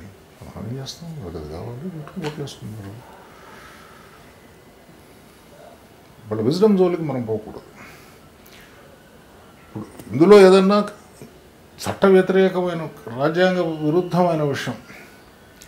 మీరు ఎవరన్నా నాకు అగెనిస్ట్గా మాట్లాడితే మేము అందరినీ జైల్లో పెట్టిస్తాము అని ఎవరో మంత్రి గారు ముఖ్యమంత్రి గారు ప్రధానమంత్రి గారు అన్నారు. అది రాజ్యాంగ వ్యతిరేకం. దాని కోర్టు ఇంటర్ఫియర్ అవ్వచ్చు. పాలసీ మ్యాటర్స్ వాళ్ళ ఇష్టం. వాళ్ళ ప్రజల దగ్గరికి వెళ్ళి ఓట్లు వేసుకుంటున్నారు. ప్రజలు ఒప్పుకుంటున్నారు. వాళ్ళ ఈ నాయకుడు ఏం చెప్పినట్టయితే మాకు మంచి జరుగుతుంది అని చెప్పి ఓట్లు వేస్తున్నారు. దానివల్ల నష్టం వచ్చింది అనుకోండి ప్రజలు అనుభవిస్తారు. మంచి దాని కష్ట సుఖాలు సో మంచి వచ్చినా వాళ్ళే సుఖపడతారు చెడు వచ్చినా వాళ్ళే నష్టపడతారు.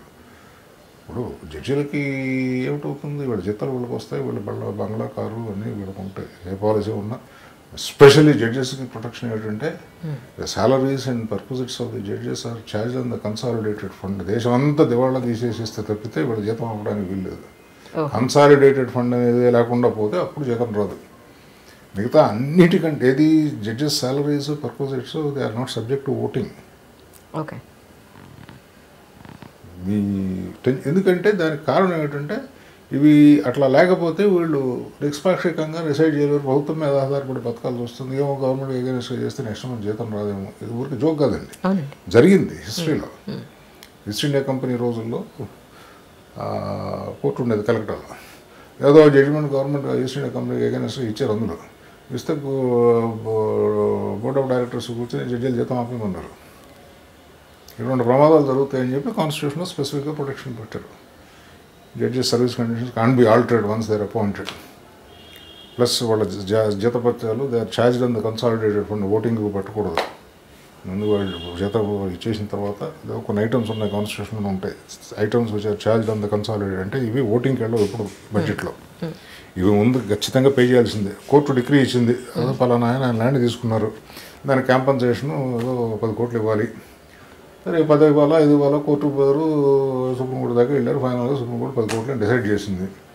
That is charge on the consolidated fund ఆ తర్వాత అబ్బాయి ఈ సంవత్సరం ఇవ్వనండి నెక్స్ట్ ఇయర్ ఇస్తాను నాకు ఈ సంవత్సరం రెండు రూపాయల కిలో ఇవ్వడం మోర్ ఇంపార్టెంట్ ఈ పది కోట్ల తర్వాత ఇస్తానని అని లేదు. అది ఫస్ట్ కోర్టు డిగ్రీ అది ముందు ఆనర్ చేయాలి. అని కాన్స్టిట్యూషన్లో రాసుకున్నారు.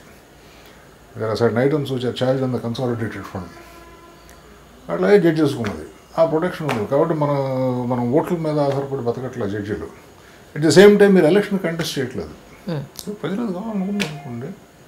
దాని కష్ట ఒక్కటి ఏంటంటే ఈ నిర్ణయం రాజ్యాంగ వ్యతిరేకమా అనేది క్వశ్చన్ ఇది మంచిది కాదు తప్పు నాకు నచ్చలేదు. లేకపోతే మీకు సింపుల్గా చెప్తాను. ప్రజలందరూ తెలుగులోనే మాట్లాడాలి అన్నారు అనుకోండి. గవర్నమెంట్ ద్వారా. తెలుగు ఆంధ్ర రాష్ట్రంలో ఉన్న ప్రజలందరూ లేదా తెలంగాణ రాష్ట్రంలో ఉన్న ప్రజలందరూ తెలుగు మాట్లాడాలి.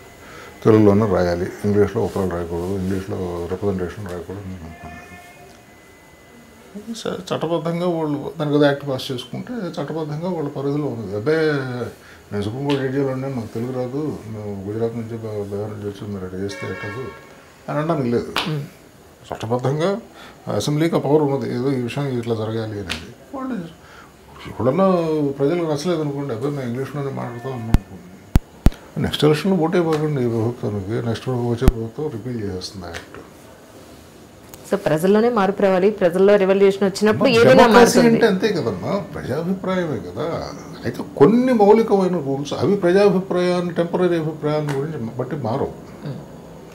బేసిక్గా డెమోక్రసీ అంటే ప్రజాభిప్రాయాన్ని గౌరవించి వాళ్ళకి అనుగుణమైనటువంటి చట్టాలు చేయడం వాళ్ళ మంచి చెడు చూసుకోవడం. అయితే కొన్ని ఫండమెంటల్ రూల్స్ ఉన్నాయి. అవి టెంపరీగా ప్రజా మెజారిటీ ఫర్ ఎగ్జాంపుల్ మీకు చెప్తా ఇవాళ ప్రభుత్వ దేశాన్ని నడుపుతున్న పార్టీ బీజేపీ పార్టీ. ఈ పార్టీకి నైన్టీన్ ఎయిటీ ఫోర్ లోక్సభ ఎలక్షన్లో రెండే రెండు సీట్లు ఇచ్చారు ప్రజలు. ఇవాళ రెండు వందల డెబ్బై రెండు వందల నలభై అని ఇచ్చారు నెంబర్ నాకు ఎగ్జాక్ట్ అవును మరి గుజరాత్లో డెవలప్మెంట్ ఉంది అని చూపించారు. అభిప్రాయ ప్రజాభిప్రాయం అనేది ట్రాన్సియంట్. మారుతూ ఉంటుంది. ఏదో రకరకాల కారణాల చేత మారుతుంది. ఇక్కడ కూడా అంత గొప్పగా ఏదో చేసేస్తారు దేశాన్ని కూడా నేను దాని గురించి మంచి చేస్తా అది నేను చెప్పే పాయింట్ ప్రజాభిప్రాయం అనేది మారుతుంది. ఈ మారుతున్న ప్రజాభిప్రాయాన్ని బట్టి అన్నీ మారకూడదు. కొన్ని కొన్ని నిశ్చలమైనటువంటి సూత్రాలు ఉంటాయి. ఎవరిని సరైన ఆరోపణ సాక్ష్యాధారాలు లేకుండా శిక్షించకూడదు అనేది one of the fundamental principles of constitution సరే మీరు చెప్పిన పాయింట్ వంద మంది నిర్దోషులకు అది కాన్స్టిట్యూషన్ ప్రిన్సిపల్ కాదు. అది అది జ్యుడిషియల్ ఇవాల్వ్డ్ డాక్టర్ ఒక మనిషిని శిక్షించాలి అంటే ముందు ఒక చట్టం చేయాలి. ఇప్పుడు నా ముందు మీరు కూర్చొని మాట్లాడడం చట్టవిరుద్ధం కాదు. మిమ్మల్ని నేను జైలుకి పంపించలేను కేసు పెట్టలేను.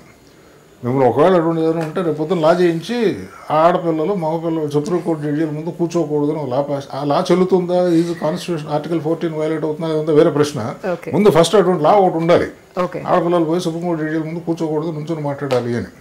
ఉంటే అటువంటి చట్టం ఉంటే ఆ చట్టం రాజ్యాంగబద్ధమేనని చెప్పి నిర్ణయించబడితే ఆ తర్వాత మీరు వచ్చి కూర్చుని అనుకుంటే కంప్లైంట్ ఇస్తే ఈ అమ్మాయి వచ్చి నా ముందు కూర్చుంది ఈ అమ్మాయిని జైల్లో పెట్టండి అని చెప్పి పెడతా. అప్పుడు కూడా నెక్స్ట్ క్వశ్చన్ ఏంటి నిజంగా వెళ్ళిందా? కూర్చుందా లేదా? ఇవన్నీ ఎస్టాబ్లిష్ కావాలి. ఇది రూల్ ఆఫ్ లా అంటే ఇప్పటివరకు ఐపీసీ సెక్షన్స్ అన్ని కూడా బ్రిటిష్ వాళ్ళు ఇచ్చినవే. మనకంటూ మనం సొంతంగా తయారు చేసుకున్నవి ఏమీ లేదు. వాళ్ళు ఇచ్చిన ఐపీసీ సెక్షన్సే అని అంటున్నారు. సరే అంటే మనలో అలాంటి సెక్షన్స్ తయారు చేసుకునే సత్తా ఉన్నవాడు లేక లేకపోతే అంత దాని దాని తర్వాత అవసరం పడలేదంటారా? మార్చలేదు అది ఫ్యాక్టు బహుశా లేకపోవచ్చు మనకు శక్తి. ఇప్పుడు స్వాతంత్రం సంపాదించుకున్నాం కానీ ఇవన్నీ మనకు తెలియదేమో అని నా అనుమానం ఇప్పుడు ఒకటి ఏంటంటే వాడు స్వతంత్రం వచ్చినంత మాత్రం చేత వాడు చేసినవన్నీ తప్పు అని అనాల్సిన అవసరం లేదు. అందులో చాలా వాడు చేసిన వాటిలో మంచిగా ఉంటాయి. ఇప్పుడు దొంగతనం చేయడం నేరం అని రాశారు అనుకోండి లేదా స్వాతంత్రం వచ్చింది కాబట్టి సంగతనం చేయడం నేరం కాదని రాసేది రాసుకోండి మంచిది దానికి ఉంది అది కాదు అని నమ్మినంతకాలం చట్టం ఉంటుంది దాన్ని మార్చాల్సిన అవసరం లేదు. ఊరికే ఎడంచేది పురచే పెడతాను నీ పేరు చేసి మళ్ళీ నా పేరు రాసుకుంటా అంటే రాసుకోండి. లేదా మన వాళ్ళు ఏదో ఊరి పేర్లు రోడ్డు పేర్లు మారుస్తూ ఉంటారు కదా అట్లాగే ఇది కూడా మార్చుకుంటూ ఉంటే మార్చుకోండి అంతకంటే దానిలో పర్పస్ ఏమీ లేదు. అంటే పాశ్చాత్య దేశాల ప్రభావం మన ప్రజల లీగల్ సిస్టమ్ ఈ constitutional system is inherited from the western philosophy భారతదేశంలో ఇదే స్వ- ప్రజాస్వామ్యం. ఈ రకమైన ప్రజాస్వామ్యం ఓట్లేసుకోవడం ఎక్కడ ఉంది సో ఈరోజు డ్రెస్సులు ఎలా మనం యాప్ చేసుకుంటున్నాము. భారతదేశంలో ఈక్వాలిటీ అనే కాన్సెప్ట్ ఎప్పటి నుంచి ఉందండి? అంటే హయ్యెస్ట్ లెవెల్ ఫిలసాఫికల్గా ఏదో ఆదిశంకరాచార్యులు చెప్తాడు అది బ్రహ్మవివాహం జగత్సకలం చిన్మాత్ర విస్తారితం. ఇవంతా ఫిలాసఫీ బట్ ఆచరణలో అది ఎప్పుడుంది? అంచెలంచెలుగా లేయర్స్ మీద లేయర్స్ ఏర్పడిపోయిన సొసైటీ ఇది. ఈక్వాలిటీ ఎక్కడుంది ఇక్కడ? కాన్స్టిట్యూషన్ వచ్చే వరకు? కొందరికి ఊళ్ళో ప్రవేశం లేదు. కొంత- కొందరు కొందరికి ఇంట్లోకి ప్రవేశం లేదు. కొందరు బావిలో నీళ్ళు తోడుకోవడానికి లేదు. రకరకాలైనటువంటి పొరలు పొరలు పొరలుగా ఏర్పడిన సమాజం ఇది. ఈక్వాలిటీ అనేది ఈ సమాజంలో ఒరిజినల్గా చెప్పి చెప్తుంటే అబ్బాయి ఏదో శంకరాచార్యులు చెప్పాడు. శంకరాచార్యులు చెప్పాడు మనం పాటించాము అది.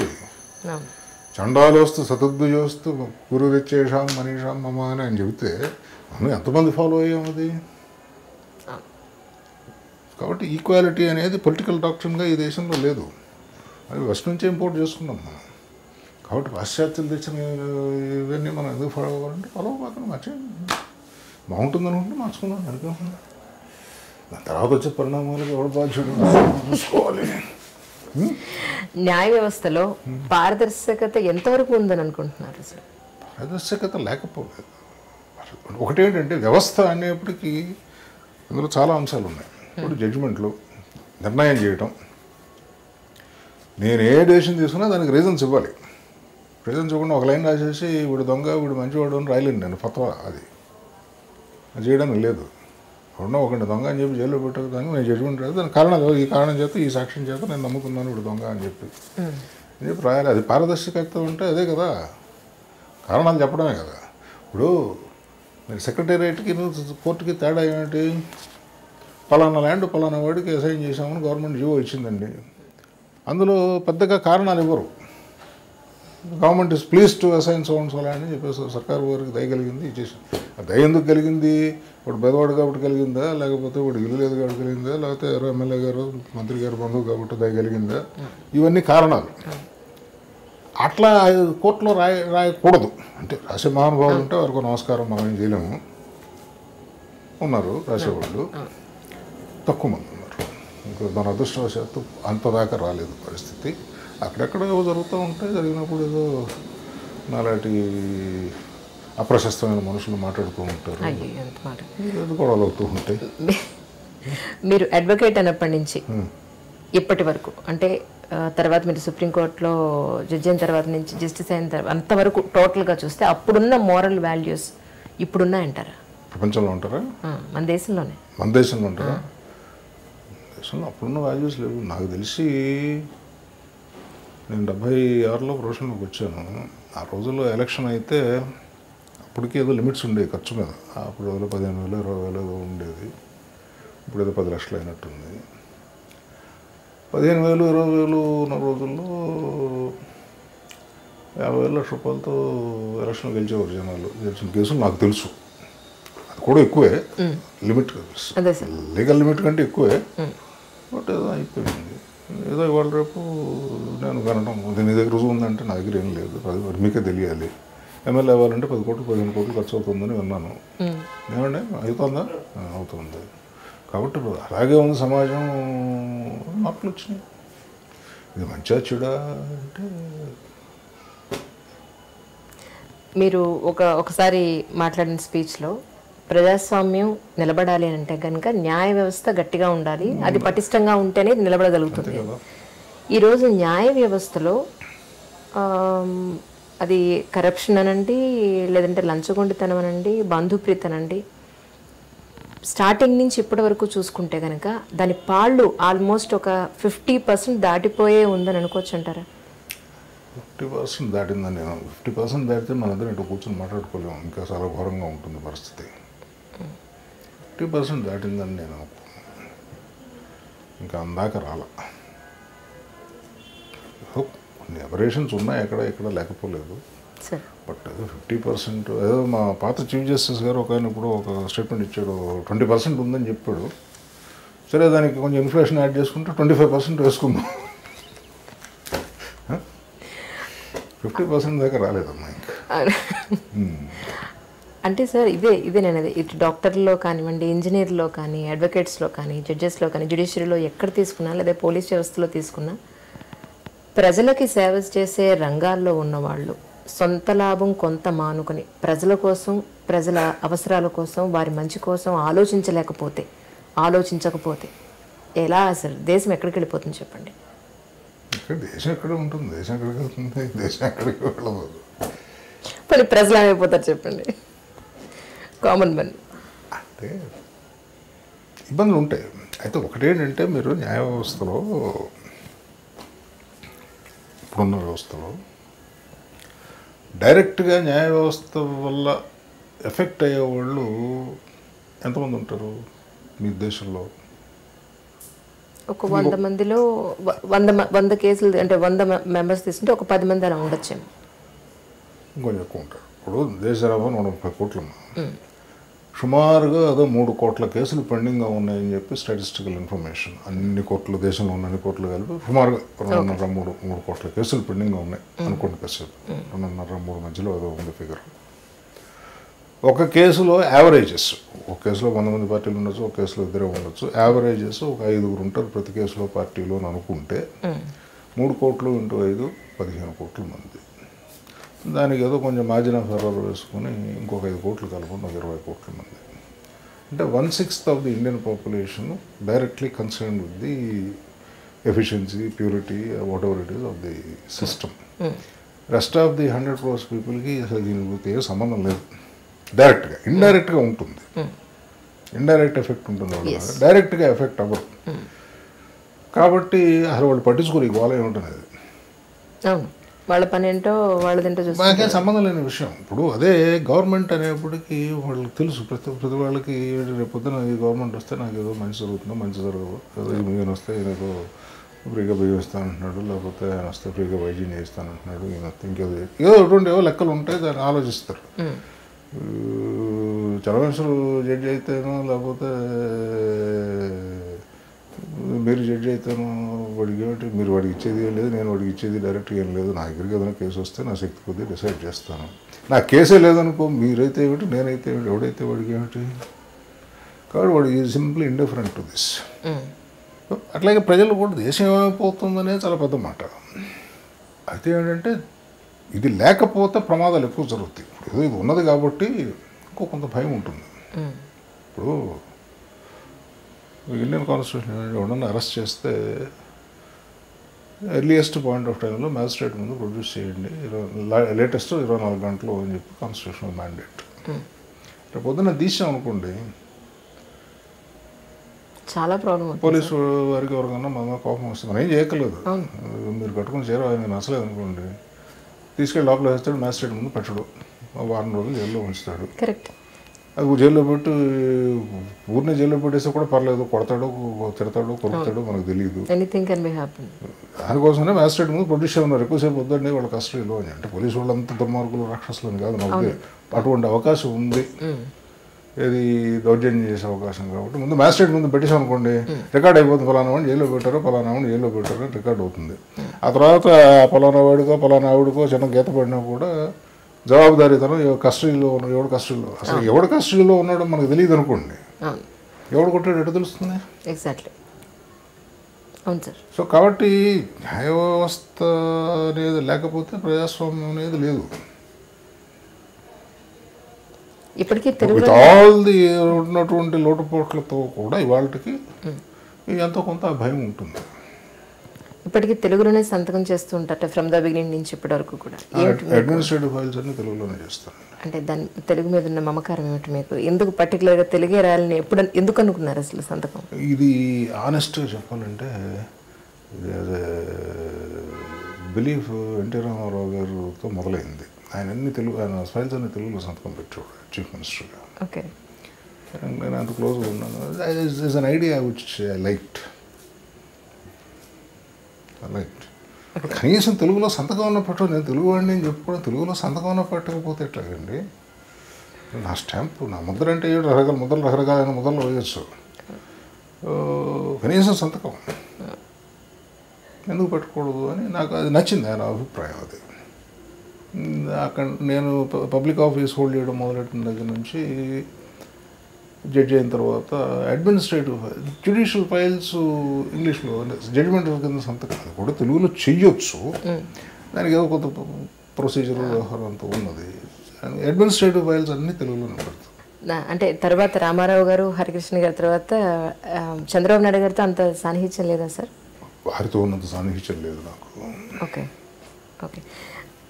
తర్వాత సెక్షన్ సిక్స్టీ సిక్స్ ఏకి సంబంధించి అప్పట్లో అది దుర్వినియోగం అవుతుందని చెప్పి మీరే దాన్ని చేశారు అని నేను బెంచి అది కొట్టేశాను. అంటే అంతవరకు ఇది దీన్ని తీసేసేయాలి లేదంటే దీనివల్ల నష్టం జరుగుతోందని మీకు ఏ ఏ టైం అనిపించింది యాక్చువల్లీ? దీన్ని తీసేస్తేనే మంచిదని ఎందుకు అనుకున్నారు? కేసులో ఉంది ఆర్గ్యుమెంట్స్ వాళ్ళు చెప్పిన ఆర్గ్యుమెంట్లు జరిగిన దృష్టాంతరాలు ఆ- సెక్షన్ స్కోప్ చూస్తే ఇప్పుడు ఆ కేసు ఎలా స్టార్ట్ అయిందో మీకు తెలుసా? పూర్తిగా తెలియదు సార్ టు బి ఫ్రాంక్ ఆయన బాల్ ఠాకరే గారు పోయాడు మహారాష్ట్రలో. Maharashtra city Bombay city paralyse అయిపోయింది రెండు రోజులు మూడు రోజులు. ఎవరో చిన్నపిల్లలు ఆడపిల్లలు ఇద్దరు ఆడపిల్లలు ఏదో వెబ్సైట్లో ఏదో ఏ దీనికి ఇంత కావాలంటే అని చెప్పి ఏదో వెబ్సైట్లో ఏదో పెట్టారు. అతడు నా బాల్ ఠాకరేకి పరారమైనటువంటి ఫాలోయింగ్ ఉంది అక్కడ. ఆయన గురించి ఏమనంటే బాంబే వెళ్ళిపోయే స్థితి ఒకప్పుడు. అది దాంట్లో ఎవరు ఆయన భక్తులు విజృంభించి దాట్ ఈ కుంకలిద్దరిని అరెస్ట్ చేస్తారు ఉరేసేయండి అని చెప్పి ఏదో ఆ మోడల్లో గొడవ చేస్తే ఎందుకైనా మంచిదని పోలీసులు ముందు తీసి ఉరేసిన అయిపోయిన జైలు పెట్టేద్దామని జైలు పెట్టేశారు. అయితే అప్పుడు ఎవరో పబ్లిక్ ఇంట్రెస్ట్ లిటిగేషన్ మూవ్ చేశారు. శ్రేయా సింఘాల్ అనే ఆవిడ జూనియర్ అడ్వకేట్ సుప్రీం కోర్టులో ఆ, ఆవిడ మూవ్ చేసింది చాలా అన్యాయం ఇది. ఏదో వాళ్ళు ఏదో ఆడపిల్లలు ఏదో పిల్లలు అభిప్రాయం ఏదో చెప్పుకున్నారు. వాళ్ళే పబ్లిక్ మీటింగ్ పెట్టలేదు. వాళ్ళిద్దరి మధ్య అభిప్రాయం. ఇప్పుడు మన రూమ్లో మనం ఏదో మాట్లాడుకుంటున్నాం మూడు మంది మీద మాట్లాడుకున్నాం అండి వీటి మీద నన్ను పట్టుకుని ఊరేసేస్తానంటే ఎట్లా? అభిప్రాయం స్వేచ్ఛ ఉండ- మన ఇంట్లో కూడా మన ఇష్టం వచ్చింది మాట్లాడుకునే స్వేచ్ఛ లేకపోతే ఎట్లా? ఎగ్జాక్ట్లీ అవును. ఇది కూడా అంతే ఇంటర్నెట్ మీద నేను మీకు కమ్యూనికేట్ చేశాను. నా అభిప్రాయం తప్పవచ్చు రైట్ అవ్వచ్చు అది వేరే సంగతి. అవును దానివల్ల దీన్ని ఇంత రాద్ధాంతం చేయాల్సిన అవసరం లేదు. ఇట్లా దుర్వినియోగం అవుతుంది. ఇది కాబట్టి ఈ చట్టం చెల్లదు అని చెప్పి ఈ సెక్షన్ చెల్లదు అని. సుప్రీంకోర్టు మొన్న ఎవరో ఫ్రెండ్ నన్ను వెక్కిరించాడు కూడా. సెక్షన్ సిక్స్టీ సిక్స్ ఆ. ఇంటర్నెట్లో నన్ను నానా తిట్లు తిరుగుతా నేను యాంటీ నేషనల్ అర్బన్ నక్సలైట్ ఏదో రాశారులేండి. రాశారు. నువ్వే కదా కొట్టేసావు బాగా ఉందా నీకు అని చెప్పి. స్వాతంత్రం. consequences నాకు. తెలుసు. నేనేం బాధపడలేదు. అభిప్రాయం చెప్పుకుంటున్నాను సుప్రీంకోర్టు తీసుకున్న ఒక నిర్ణయం నిర్ణయం మీద ప్రజలు ఎవరు కూడా విమర్శించే హక్కు లేదు. అలా విమర్శిస్తే అరెస్ట్ చేస్తారు అనేది నేను అది దానికి నేను పూర్తిగా వ్యతిరేకం. సుప్రీంకోర్టు నిర్ణయాలు విమర్శించకూడదు అనేది పూర్తిగా అప్రజాస్వామికమైనటువంటి అభిప్రాయం అది. సుప్రీంకోర్టు వాళ్ళని వ్యక్తిగతంగా దూషించొద్దు. వీడు వధవా వీడు వీడు దుర్భాషలాడడం అది తప్పు. ఓకే.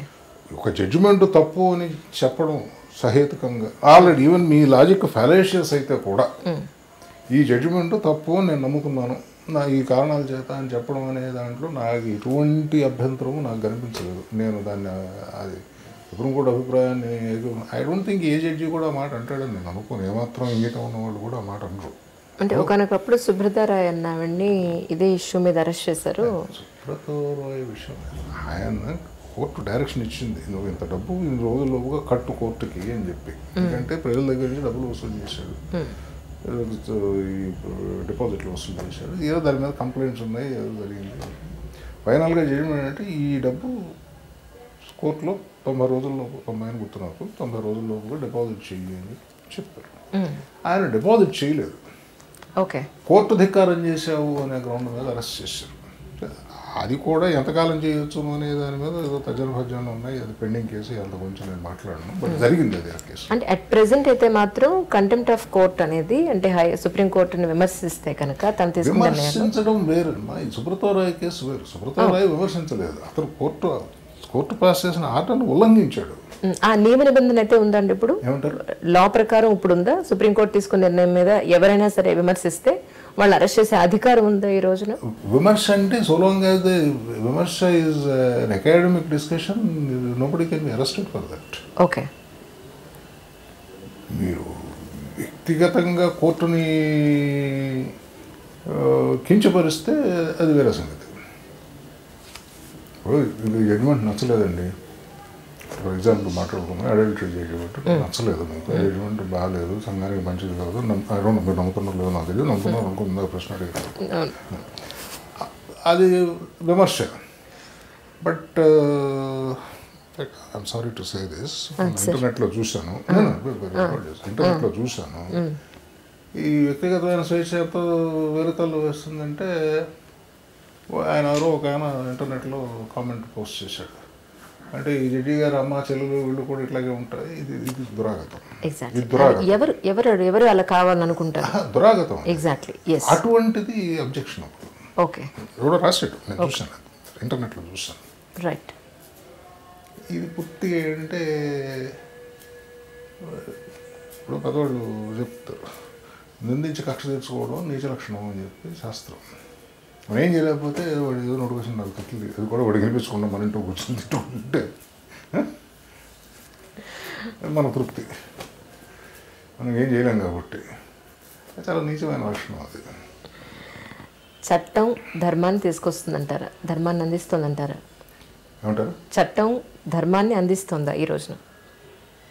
చట్టం వేరు ధర్మం వేరని మీ ఉద్దేశం? అనేది అమ్మ అసలు ధర్మం అనేది చాలా నెబ్యులస్ పదార్థం. అది ఏది ధర్మము అనేది కొంచెం నిర్ణయించండి అది ఎవరు నిర్ణయించు? చట్టం అనేది మోర్ ప్రిసైజ్ ఏదో యాక్ట్లో ఇట్లా రాశారు. టైప్ చేసి ఉంటుంది. ధర్మం అంటే ఏమిటి? ఎక్కడ రాసింది? చెప్పండి నాకు. ఎక్కడెక్కడో వెతుక్కోవాలి. ఇప్పుడు మన ఇండియన్ స్టాండర్డ్ బుక్స్లోనే చాలా ఇంప్రసైజ్ ఎక్స్ప్రెషను ధర్మం అనేది అది బహుముఖాలుగా ఉంటుంది. దాన్ని నిర్ణయించడానికి అందరి వల్ల అయ్యే పని కాదు. ఏది? ఇప్పుడు రాముడు వాళ్ళని చర్చ నుంచి కొట్టడం ధర్మం అధర్మం అనే చర్చ యుగాలుగా నడుస్తూనే ఉంది. ఒక జస్టిస్ కానీ జడ్జి కానీ ఆయన సీట్లో కూర్చుని ఆయన ముందున్న పేపర్లు చూసి ఇది నిజం ఇది అబద్ధం. ఇదే కరెక్టు నేను చెప్తోందే కరెక్టు అని నిర్ణయిస్తారు జనరల్గా. పేపర్ని బట్టి నిర్ణయిస్తారు. వస్తున్నాను కరెక్ట్. సాక్ష్యాలే పేపర్లే మీకు ఆధారం. కానీ చూశాను ఇప్పుడు. మీరు మీరు పొడిచారో లేదో నేను చూశాను. రేపు పొద్దున ఎవడో కేసు పెడతాడండి మీ మీద. గాంధీ గారిని ఎవడే చంపేసింది అని వాడు కేసు పెట్టాడండి. సాక్ష్యం ఏమిటి? రెండు రకాలు. ఆయన ఈయన వచ్చానండి మేము చూసానండి ఈవిడే కాల్ చేసిందండి అని చెప్పి చెబుతారు. సాక్ష్యం. అయితే ఇది నిజం సాక్ష్యం అబద్ధం సాక్ష్యం అక్కడ ఏమిటి? ఇప్పుడు ఎప్పుడు పుట్టింది? గాంధీ గారు ఇప్పుడు గాంధీ గారు చచ్చిపోయినట్టు ఇప్పుడు పుట్టలేదు కాబట్టి వీళ్ళిద్దరు తప్పుడు సాక్ష్యం చెబుతున్నారు అనేది నేను కంక్లూషన్కి రావాలి. ఆ- జడ్జి గారు అసలు ఆ పాయింట్ ఆఫ్ వ్యూ నుంచి ఆలోచించాలి కదా. ఆలోచించాలంటే మరి ఆలోచించకపోతే మా దౌర్భాగ్యం. అటువంటి జడ్జీలు ఇంకా అంత దాకా రాలేదు. గ్రౌండ్ గ్రౌండ్ లెవెల్ రియాలిటీస్ వేరుగా ఉంటాయి. పేపర్ ప్రొడ్యూస్ చేసేది వేరుగా ఉంటుంది. అదేనమ్మా చెప్పేది. System functions on particular principles system నిన్ను జడ్జిని సాక్ష్యం మీద నిర్- నిర్ణయించమన్నారు లేదు జడ్జి గారికి వ్యక్తిగతంగా తెలుసు గాంధీ గారిని మీరే చంపేశారని నాకు తెలుసు అనుకోండి. నేను బోర్లో పోయిన నుంచి సాక్ష్యం చెప్పాను నేను చూశానండి. అబ్బాయి ఈవిడు డేట్ ఆఫ్ బర్త్ తప్పు ఈవిడ పంతొమ్మిది వందల ముప్పైలోనే పుట్టింది గాంధీ గారు చచ్చిపోయినట్టు ఈవిడ పదహారేళ్ళు తుపాకీ పట్టు కాల్ చేసిందని నేను సాక్ష్యం చెప్పాలి పోయి. అంతేగాని రెస్ట్ ఆఫ్ ఇట్ ఈజ్ నమ్మకం. ఏదో పేపర్లో వచ్చింది కాబట్టి నిజం అయి ఉంటుందని అనుకునే ప్రొసీ మామూలు మనుషులు ఏమంటే ఇప్పుడు మధ్యకాలంలో గొడవ అయింది దేశంలో ఆరుషి మర్డర్ కేసు ఎన్ని మలుపులు తెలుసు. అవును నిజం ఏమిటో పరమాత్ముడికి తెలియాలి. కేసు డీజే లేదు నాకు ఫుల్ డీటెయిల్స్ తెలియదు. బట్ అందులో జరిగిన చిత్ర విచిత్రమైనటువంటి పరిణామాలన్నీ మనం చూసాం ఇప్పుడు పత్రికా స్వాతంత్రం ఎంత గొప్ప విషయమో అందులో అంత ప్రమాదం కూడా ఉన్నది ఇప్పుడు మీరు రాసేస్తారు ఏం రాసేస్తారు ఏం రాస్తారు వెళ్తారు అసలు అక్కడ కూడా అవును పొడి చేశారు. మీరు ఇక్కడ పోతున్నారు మీరు లేకపోతే మీరే పోతారు ఇక్కడ అయింది మనం బ్రేకింగ్ న్యూస్ అని చెప్పి మీరు పోతారు. అక్కడ పది మంది ఉంటారు పలానా చలవన్సరి గారు పొడి చేశాడు. మీకు నా లైఫ్లో జరిగింది చెప్తా. సార్. ఓ రోజు ఇక్కడి నుంచి బెదవాడ పోతున్నాను నేను ఇక్కడే ఉన్నప్పుడు హైకోర్టు జడ్జిగా.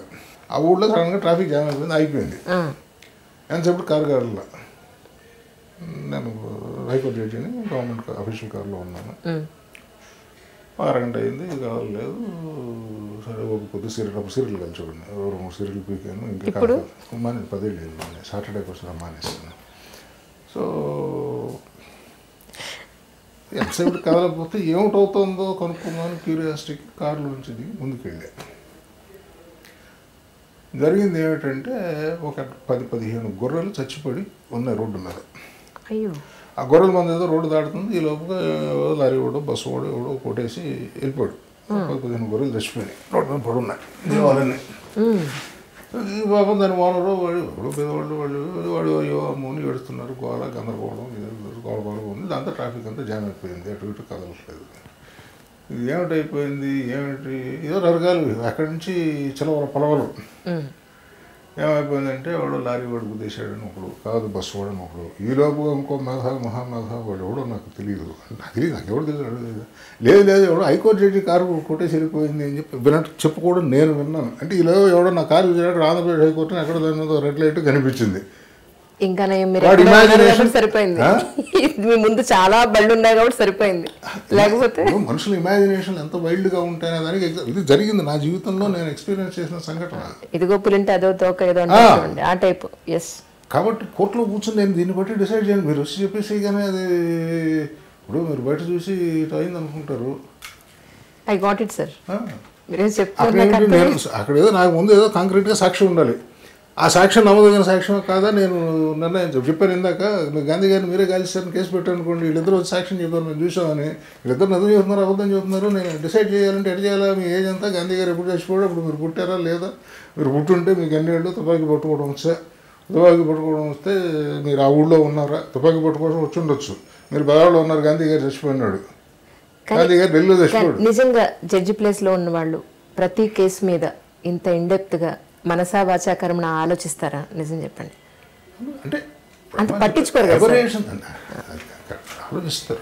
వాళ్ళ వాళ్ళ శక్తి ఇప్పుడు అందరి బుద్ధి పరిపక్వత ఒక రకంగా ఉండవు వాళ్ళ బుద్ధి వికాసాన్ని బట్టి ఎంతో కొంత ఆలోచిస్తారు. మరి అంత దుర్మార్గంగా ఉండదు. ఆలోచిస్తారు. పొరపాట్లు దొరుకుతాయి ఒక్కోసారి. ఇది ఆనెస్ట్ మిస్టేక్స్ నేను చెప్పి కొన్ని అకృత్యాలు దొరుకుతాయి ఇతరత్ర కారణాలు. అది వేరే. దాని గురించి అసలు ఆలోచించకుండా అంత దుర్మార్గంగా వ్యవస్థ ఉండదు. లేదు ఇవాళ వరకు లేదు. పార్లమెంటరీ వ్యవస్థ గొప్పదా? న్యాయ వ్యవస్థ గొప్పదా అంటే ఎవరి పాత్ర వారిదమ్మా మీరు న్యాయ వ్యవస్థని పార్లమెంటరీ వ్యవస్థ కంట్రోల్ చేస్తుందని ఒప్పుకుంటారా? సంపూర్ణ రామాయణం సినిమా చూస్తారా చూడలేదు సార్. చూడలేదా? అయ్యో. మీరు చెప్పండి సార్ నేను అర్థం చేసుకుంటాను. అందులో లాస్ట్ సీన్ తొమ్మిదో రోజు రాత్రి యుద్ధం అయిన తర్వాత ఇంటికి వచ్చేసి రావణాసుడు తొమ్మిదిని కొంత వాచిపోయి రాముడు అంటాడు అలసిపోయావు సూర్య సూర్యాస్తమైంది పోయి విశ్రాంతి తీసుకుని రేపు రా అంటాడు. రావణాసుడు వచ్చి కూర్చుని ఏడుతూ ఉంటాడు ఆయన ఆయన కోఠాల్లో కూర్చుని ఖాళీ కుర్చీలో ఒకడు చచ్చిపోయాను తమ్ముళ్ళు కొడుకులు పంతులు అందరూ ఏడుస్తూ ఉంటాడు ఆ స్థితిలో వాళ్ళంత ఘర్షణ మనుషులు ఏమిటి ఏం జరిగింది ఎందుకు జరిగింది? ఓ పక్క నుంచి బుద్ధి. ఆ సీతం లేకపోతే గొడవ అంత లేదు కదా.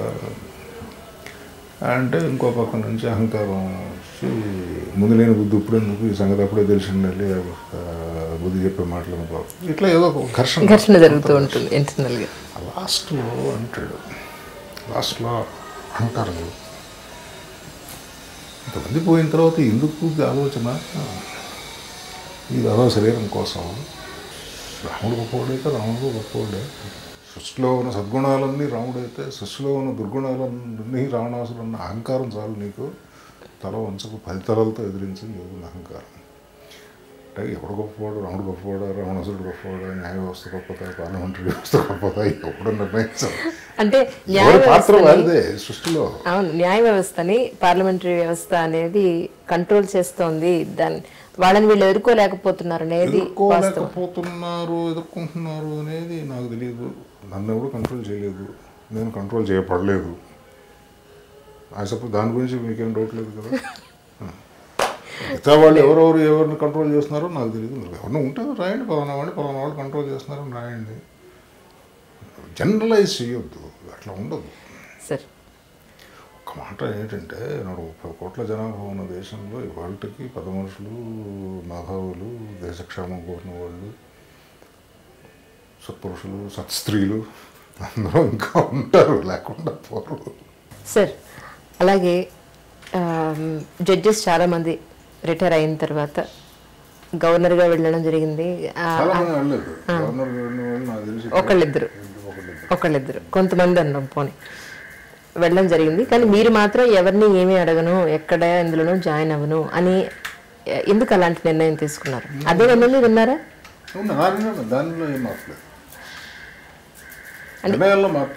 ఎందుకు? రాజకీయాలంటే ఇష్టం లేక? నాకు ఇష్టం లేదు. అంటే ప్రశ్నించే తత్వం ఉన్న మనిషి లేదు ఒకచోట చెడు జరుగుతుంటే ఇది ఇక్కడ చెడు జరుగుతోంది మంచి ఇలా చేస్తే ప్రజలకు మంచి జరుగుతుంది అని చెప్పే మనిషి మీ మౌనం చాలా వాటికి దారితీస్తుంది కదా అని. మీరంటే ప్రశ్నించే వాళ్ళు సమాజానికి అవసరం కాదని ఎవరు సమాధానం చెప్పడు. నేను చాలా ప్రశ్నలు అడిగాను. ఎవరు చెప్పారు సమాధానం? ఎవరు చెప్పలేదు చెప్పకపోతే పైగా ప్రశ్న అడగకూడదు తప్పు దోషం దేశానికి అరెస్టెంట్ అని ప్రశ్న చెప్పాను. ఇప్పుడు చెప్పారు సమాధానం చెప్పారు నా ప్రశ్న ఏ ప్రశ్నకైనా కూడా ప్రశ్నించడం ప్రశ్నించడం అంతవరకే సమాధానం వస్తుందని ఆశించడం తెలియ తక్కువ పని సమాధానం చెప్పారు ఇక ప్రశ్నించడం అంటారా ఇప్పుడు ఇంకా స్వేచ్ఛగా అడగదు ఉద్యోగం లేదు బాధ్యత లేదు అనుకోండి అంటే బాధ్యత లేదంటే ఉద్యోగపరమైన రెస్పాన్సిబుల్గా ఉద్యోగపరమైన మాట్లాడడం మనకి కాదు ఇప్పుడు ఇంకా స్వేచ్ఛ నాకు. మీరు ఏదైనా మాట్లాడచ్చు ఉద్యోగంలో ఉంటే కొన్ని పరిధులు ఉంటాయి. కొన్ని కొన్ని నియమాలు ఉంటాయి దాటకూడదు. ఇప్పుడు ఏమనుకుంటున్నారు? ఫ్యూచర్ ప్లాన్స్ ఏమనుకుంటున్నారు? ఇప్పుడు ఇరవై ఒక్క సంవత్సరం జడ్జి ఉద్యోగం చేశాను. ఉద్యోగం పదవి బాధ్యత దీనిలో ఉండే కొన్ని కన్స్ట్రెంట్స్ ఉంటాయి. ఇంకొక ఉద్యోగం చేసి ఈ కన్స్ట్రెంట్స్ కంటిన్యూ చేసుకోదలుచుకోలేదు. స్వేచ్ఛగా బతకాలని అనుకున్నాను. నేనే ఉద్యోగం చేయనని చెప్పాను సినిమాలు చూస్తుంటారా సార్? అంటే సుప్రీంకోర్టు జస్టిస్ ముందుంటే ఇలాంటి సిల్లీ క్వశ్చన్ అడుగుతావా అని కామెంట్స్ పెడతారేమో. కానీ మీరు కూడా ఫస్ట్ ఒక కామెంట్మెంట్ తర్వాతే కదా అంత గొప్ప ఇదయ్యారు. తక్కువ ఇదివరకట్లా చూడలేదు ఇప్పుడు అన్న ఒకసారి కాలక్షేపానికి చూస్తాను. అంటే థియేటర్కి వెళ్ళడం అసలు ఆల్మోస్ట్ పోయినట్టే. ఎక్కువగా నేను చూస్తే సినిమాలు ఐప్యాడ్ మీద చూస్తాను. ఓకే. అంటే ఎప్పుడైనా మా గ్రాండ్ చిల్డ్రన్తో కూర్చొని వాళ్ళు ఇంట్లో టీవీలో పడుతుంటారు. తెలుగు సినిమా లాస్ట్ చూసిన మూవీ ఏదండి మీది?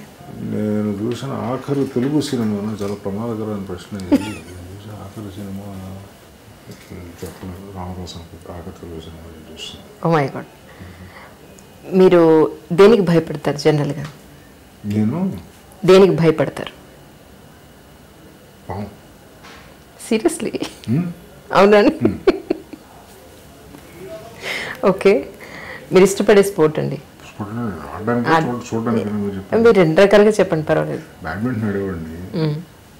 పాత రోజుల్లో అంటే చిన్న వయసులో ఉండగా వెయిట్ లిఫ్టింగ్ చేసేవాడిని. ఏంటి మీ హైట్గా సిక్స్ ఫీట్ అబౌవ్ ఉన్నారు సార్ మీరు? కొంతకాలం బాక్సింగ్ ప్రాక్టీస్ చేశాను. ఇప్పుడు ప్రస్తుతానికి? వాకింగ్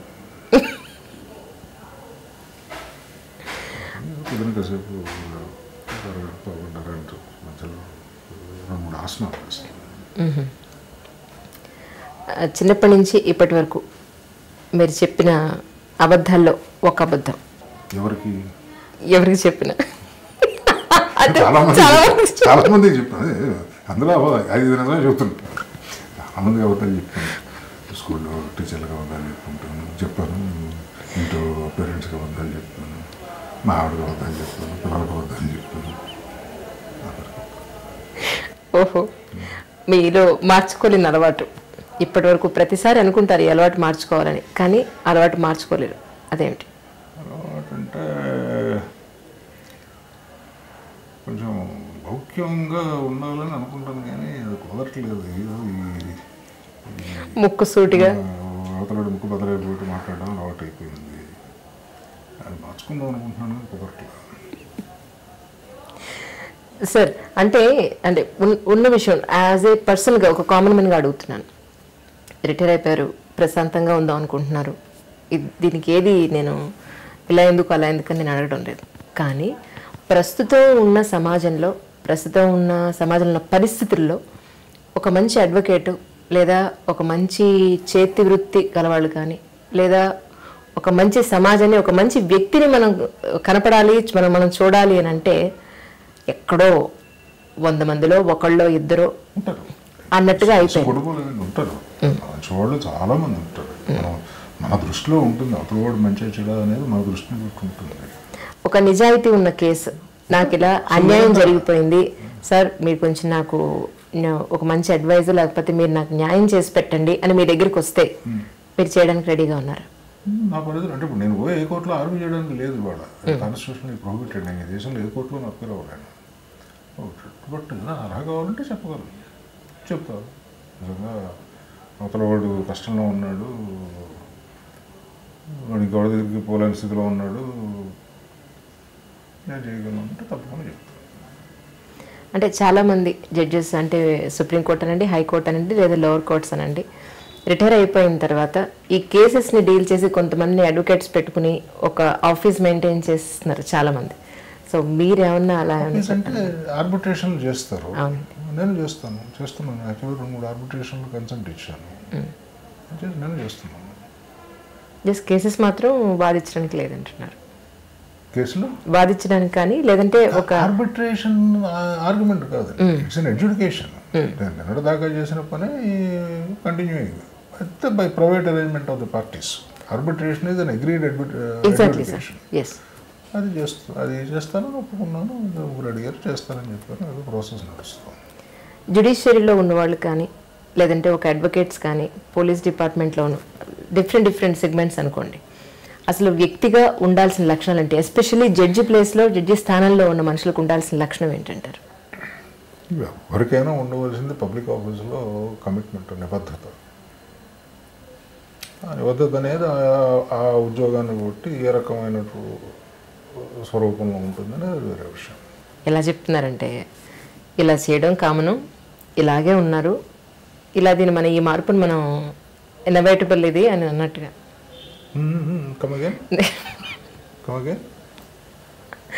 ఈ- ఈ జడ్జెస్ కానీ లేదా కోర్టుల్లో కానీ ఇలా ఇలా ఉన్నారు ప్రజలు ఇలా ఉన్నారు ఇది ఇలా జరుగుతోంది అంటే ఉన్నదంటే ఇలాగే ఉంది ఏం చేద్దాం? అని అంటున్నారే తప్ప మీరు లే ఇది తప్పు. ఇంతకు ముందు ఇంతకు ముందున్న ఆ కసి ఆ పట్టుదల ఇప్పుడు తగ్గిందని అనుకోవచ్చా? ఇష్టం మీరు ఏదన్నా అనుకోవచ్చు దానికి. కాదు సార్. అట్లా కాదు. ఒకనొకప్పుడు కసి ఎప్పుడూ లేదు నాకు. అంటే అలా బాధ్యత ఆ రోజున. ఎగ్జాక్ట్లీ. నేను ఒక ఒక పబ్లిక్ ఆఫీస్లో ఉన్నాను నాకు కొన్ని బాధ్యతలు ఉన్నాయి. నేను ఆ బాధ్యత సక్రమంగా నేను నిర్వర్తించలేకపోతే ఎప్పుడో ఒకప్పుడు ఎవడో రేపో ఎల్లుండో నెక్స్ట్ జనరేషన్ వాళ్ళు అడుగుతారు ఏం చేసాడయ్యా ఈయన పలానా ఆఫీస్లో కూర్చొని ఇటువంటి మంచి ప్రజాహితంగా వ్యవహారాలు నడుస్తుంటే ఈయన మాట్లాడకుండా ఊరుకున్నాడు ఈయన భాగస్వామి ఇందులో. అని ఎవడో ఒకడు అంటారు. ఇప్పుడు నేను పోయిన తర్వాత అన్నాను అనుకోండి సమాధానం చెప్పలేను. ఇప్పుడు తిట్టాను అనుకోండి సరే సమాధానం చెప్పాలనుకోండి చెబుతాను చెప్పకపోతే కనీసం ఎందుకు తిడుతున్నారో నాకు తెలుస్తుంది. నేను పోయిన తర్వాత తిడితే నాకు తెలియదు. అందుకని చెప్పి నేను ఊరుకోండి సార్. ఆ రోజు చెప్పాను. మీరు చేసిన నిజాయితీగా చేశారు. ఆ విషయం ప్రజలందరికీ తెలుసు. డౌట్ లేదు సార్ ఇందులో అలాగే మీ పేరు మీద అక్టోబర్ ఫోర్టీన్త్న జాస్తి చలమేశ్వర గారి డే అని యుఎస్ గవర్నమెంట్ గుర్తించి ఒక డే ఒక చిన్న టౌన్ అదే ఏదైనా ఏదైనా. యుఎస్ గవర్నమెంట్ గవర్నమెంట్ మున్సిపాలిటీకి చాలా తేడా ఉంది. ఉంది సార్ కానీ ఆ మాత్రం గుర్తించారు కదా. గుర్తి అసలు మీకు తెలుసా ఊళ్ళో వాళ్ళు మన తెలుగు వాళ్ళు ఉన్నారు అక్కడంతా. పోయి ఏదో మేయర్ గారికి చెప్పారు "ఏదో మా జడ్జి గారు వచ్చారు. సరే వాళ్ళ దృష్టిలో నేను చాలా గొప్పవాడిని అనుకున్నారు మా జడ్జి గారు చాలా గొప్పవాడు అని మీరు గౌరవించాలని ఏదో చెప్పారు. తెలుగు వాళ్ళు చాలా కన్సిడరబుల్గా ఉన్న ప్రాంతం అది. కొంచెం ఇంపార్టెంట్ ప్లేసెస్లో కూడా ఉన్నారు. ఎగ్జాక్ట్లీ సార్ అందుకే. వెళ్ళి చెప్తే మేయర్ గారు సరే ఇంతమంది వచ్చారు కదా చెప్తే నెక్స్ట్ టైం ఓట్లేస్తారని చెప్పి అనుకున్నాను సరే అది అది వాళ్ళ సాంప్రదాయం ఇక్కడ కూడా మీరు ముక్కుసూటిగానే మాట్లాడతారు. ఎక్కడ? వాళ్ళకి ఆ ట్రెడిషన్ ఉంది అక్కడ. అదే సార్ యూఎస్లో. విజిట్ చేసిన రోజు సో అంటే రికార్డులో ఉంటుంది ఆ మున్సిపల్ రికార్డ్స్లో ఉంటుంది. పలానా తారీఖు నాడు ఈయన వచ్చాడు ఆ ఏదో మున్సిపల్ కౌన్సిల్ వాళ్ళు మున్సిపల్ కౌన్సిల్ ఏదో కౌంటీ ఏదో అంటారు దాన్ని. వాళ్ళు ఆయన్ని గౌరవించి ఆ రికార్డులో ఉంటుంది ఎంతమంది భారతీయులకి ఆ డే ఉంది చెప్పండి. సో కొంతమందికి ఉంటుంది అనేది వేరే విషయం. అదే వాళ్ళని చిన్నపుచ్చడం అనే ఉద్దేశంతో అదే సార్ అదే సార్. అమెరికన్ ప్రభుత్వం వాళ్ళు అంటే దానికి చెప్పారు. అదే సార్ ఇప్పుడు మన దేశంలో ఉన్న ఒక జిల్లానే కావచ్చు. అయినా కూడా మన దేశంలోనే ఉంది అల్టిమేట్గా బట్ ఏంటంటే వాళ్ళు గుర్తించి ఒక రోజు అనేది ఇవ్వడం అనేది ఇట్స్ నాట్ స్మాల్ థింగ్ అని నేను అనుకుంటున్నాను. తప్పకుండా వాళ్ళు. వాళ్ళు నాకు ఏదో ఒక మర్యాద ఇచ్చారు అంత కృతజ్ఞత దాని దాని గురించి. నేను వాళ్ళని ఏదో గౌరవపరచాలని ఉద్దేశం దాన్ని ఏదో ఏదో చాలా ఏదో నాకు ఏదో నోబెల్ ప్రైజ్ వచ్చిన లెవెల్లో మీరు మాట్లాడుతుంటే అంత ఏం లేదు అని చెప్తున్నారు. ఏమో సార్ అది కూడా రావచ్చేమో ఏం చెప్పగలను చెప్పండి. అసలేండి రావచ్చు నేను అమెరికన్ ప్రెసిడెంట్ అవ్వచ్చు ఏదో ఎనీథింగ్ ఈజ్ పాసిబుల్ సృష్టిలో ఏదైనా దానికి ఉంది సార్ ఏది ఏమైనప్పటికీ మీరు మీకంటూ అంటే ప్రజల్లో మీ మీద ఉన్న ఒపీనియన్ ఏంటంటే చాలా నిజాయితీ గల మనిషి చాలా నిజాయితీ గల జడ్జి సుప్రీంకోర్టులో చాలా మంచి మనిషి అన్న పేరు మీరు సంపాదించుకున్నారు. నిజంగా ఇలాంటి గొప్ప వ్యక్తిని ఒక మంచి మనిషిని కలిసినందుకు చాలా సంతోషంగా ఉంది చాలా మంచి అవకాశాన్ని నాకు ఇచ్చారు. నిజంగా మీకు కృతజ్ఞతలు. Thank you sir thank you so much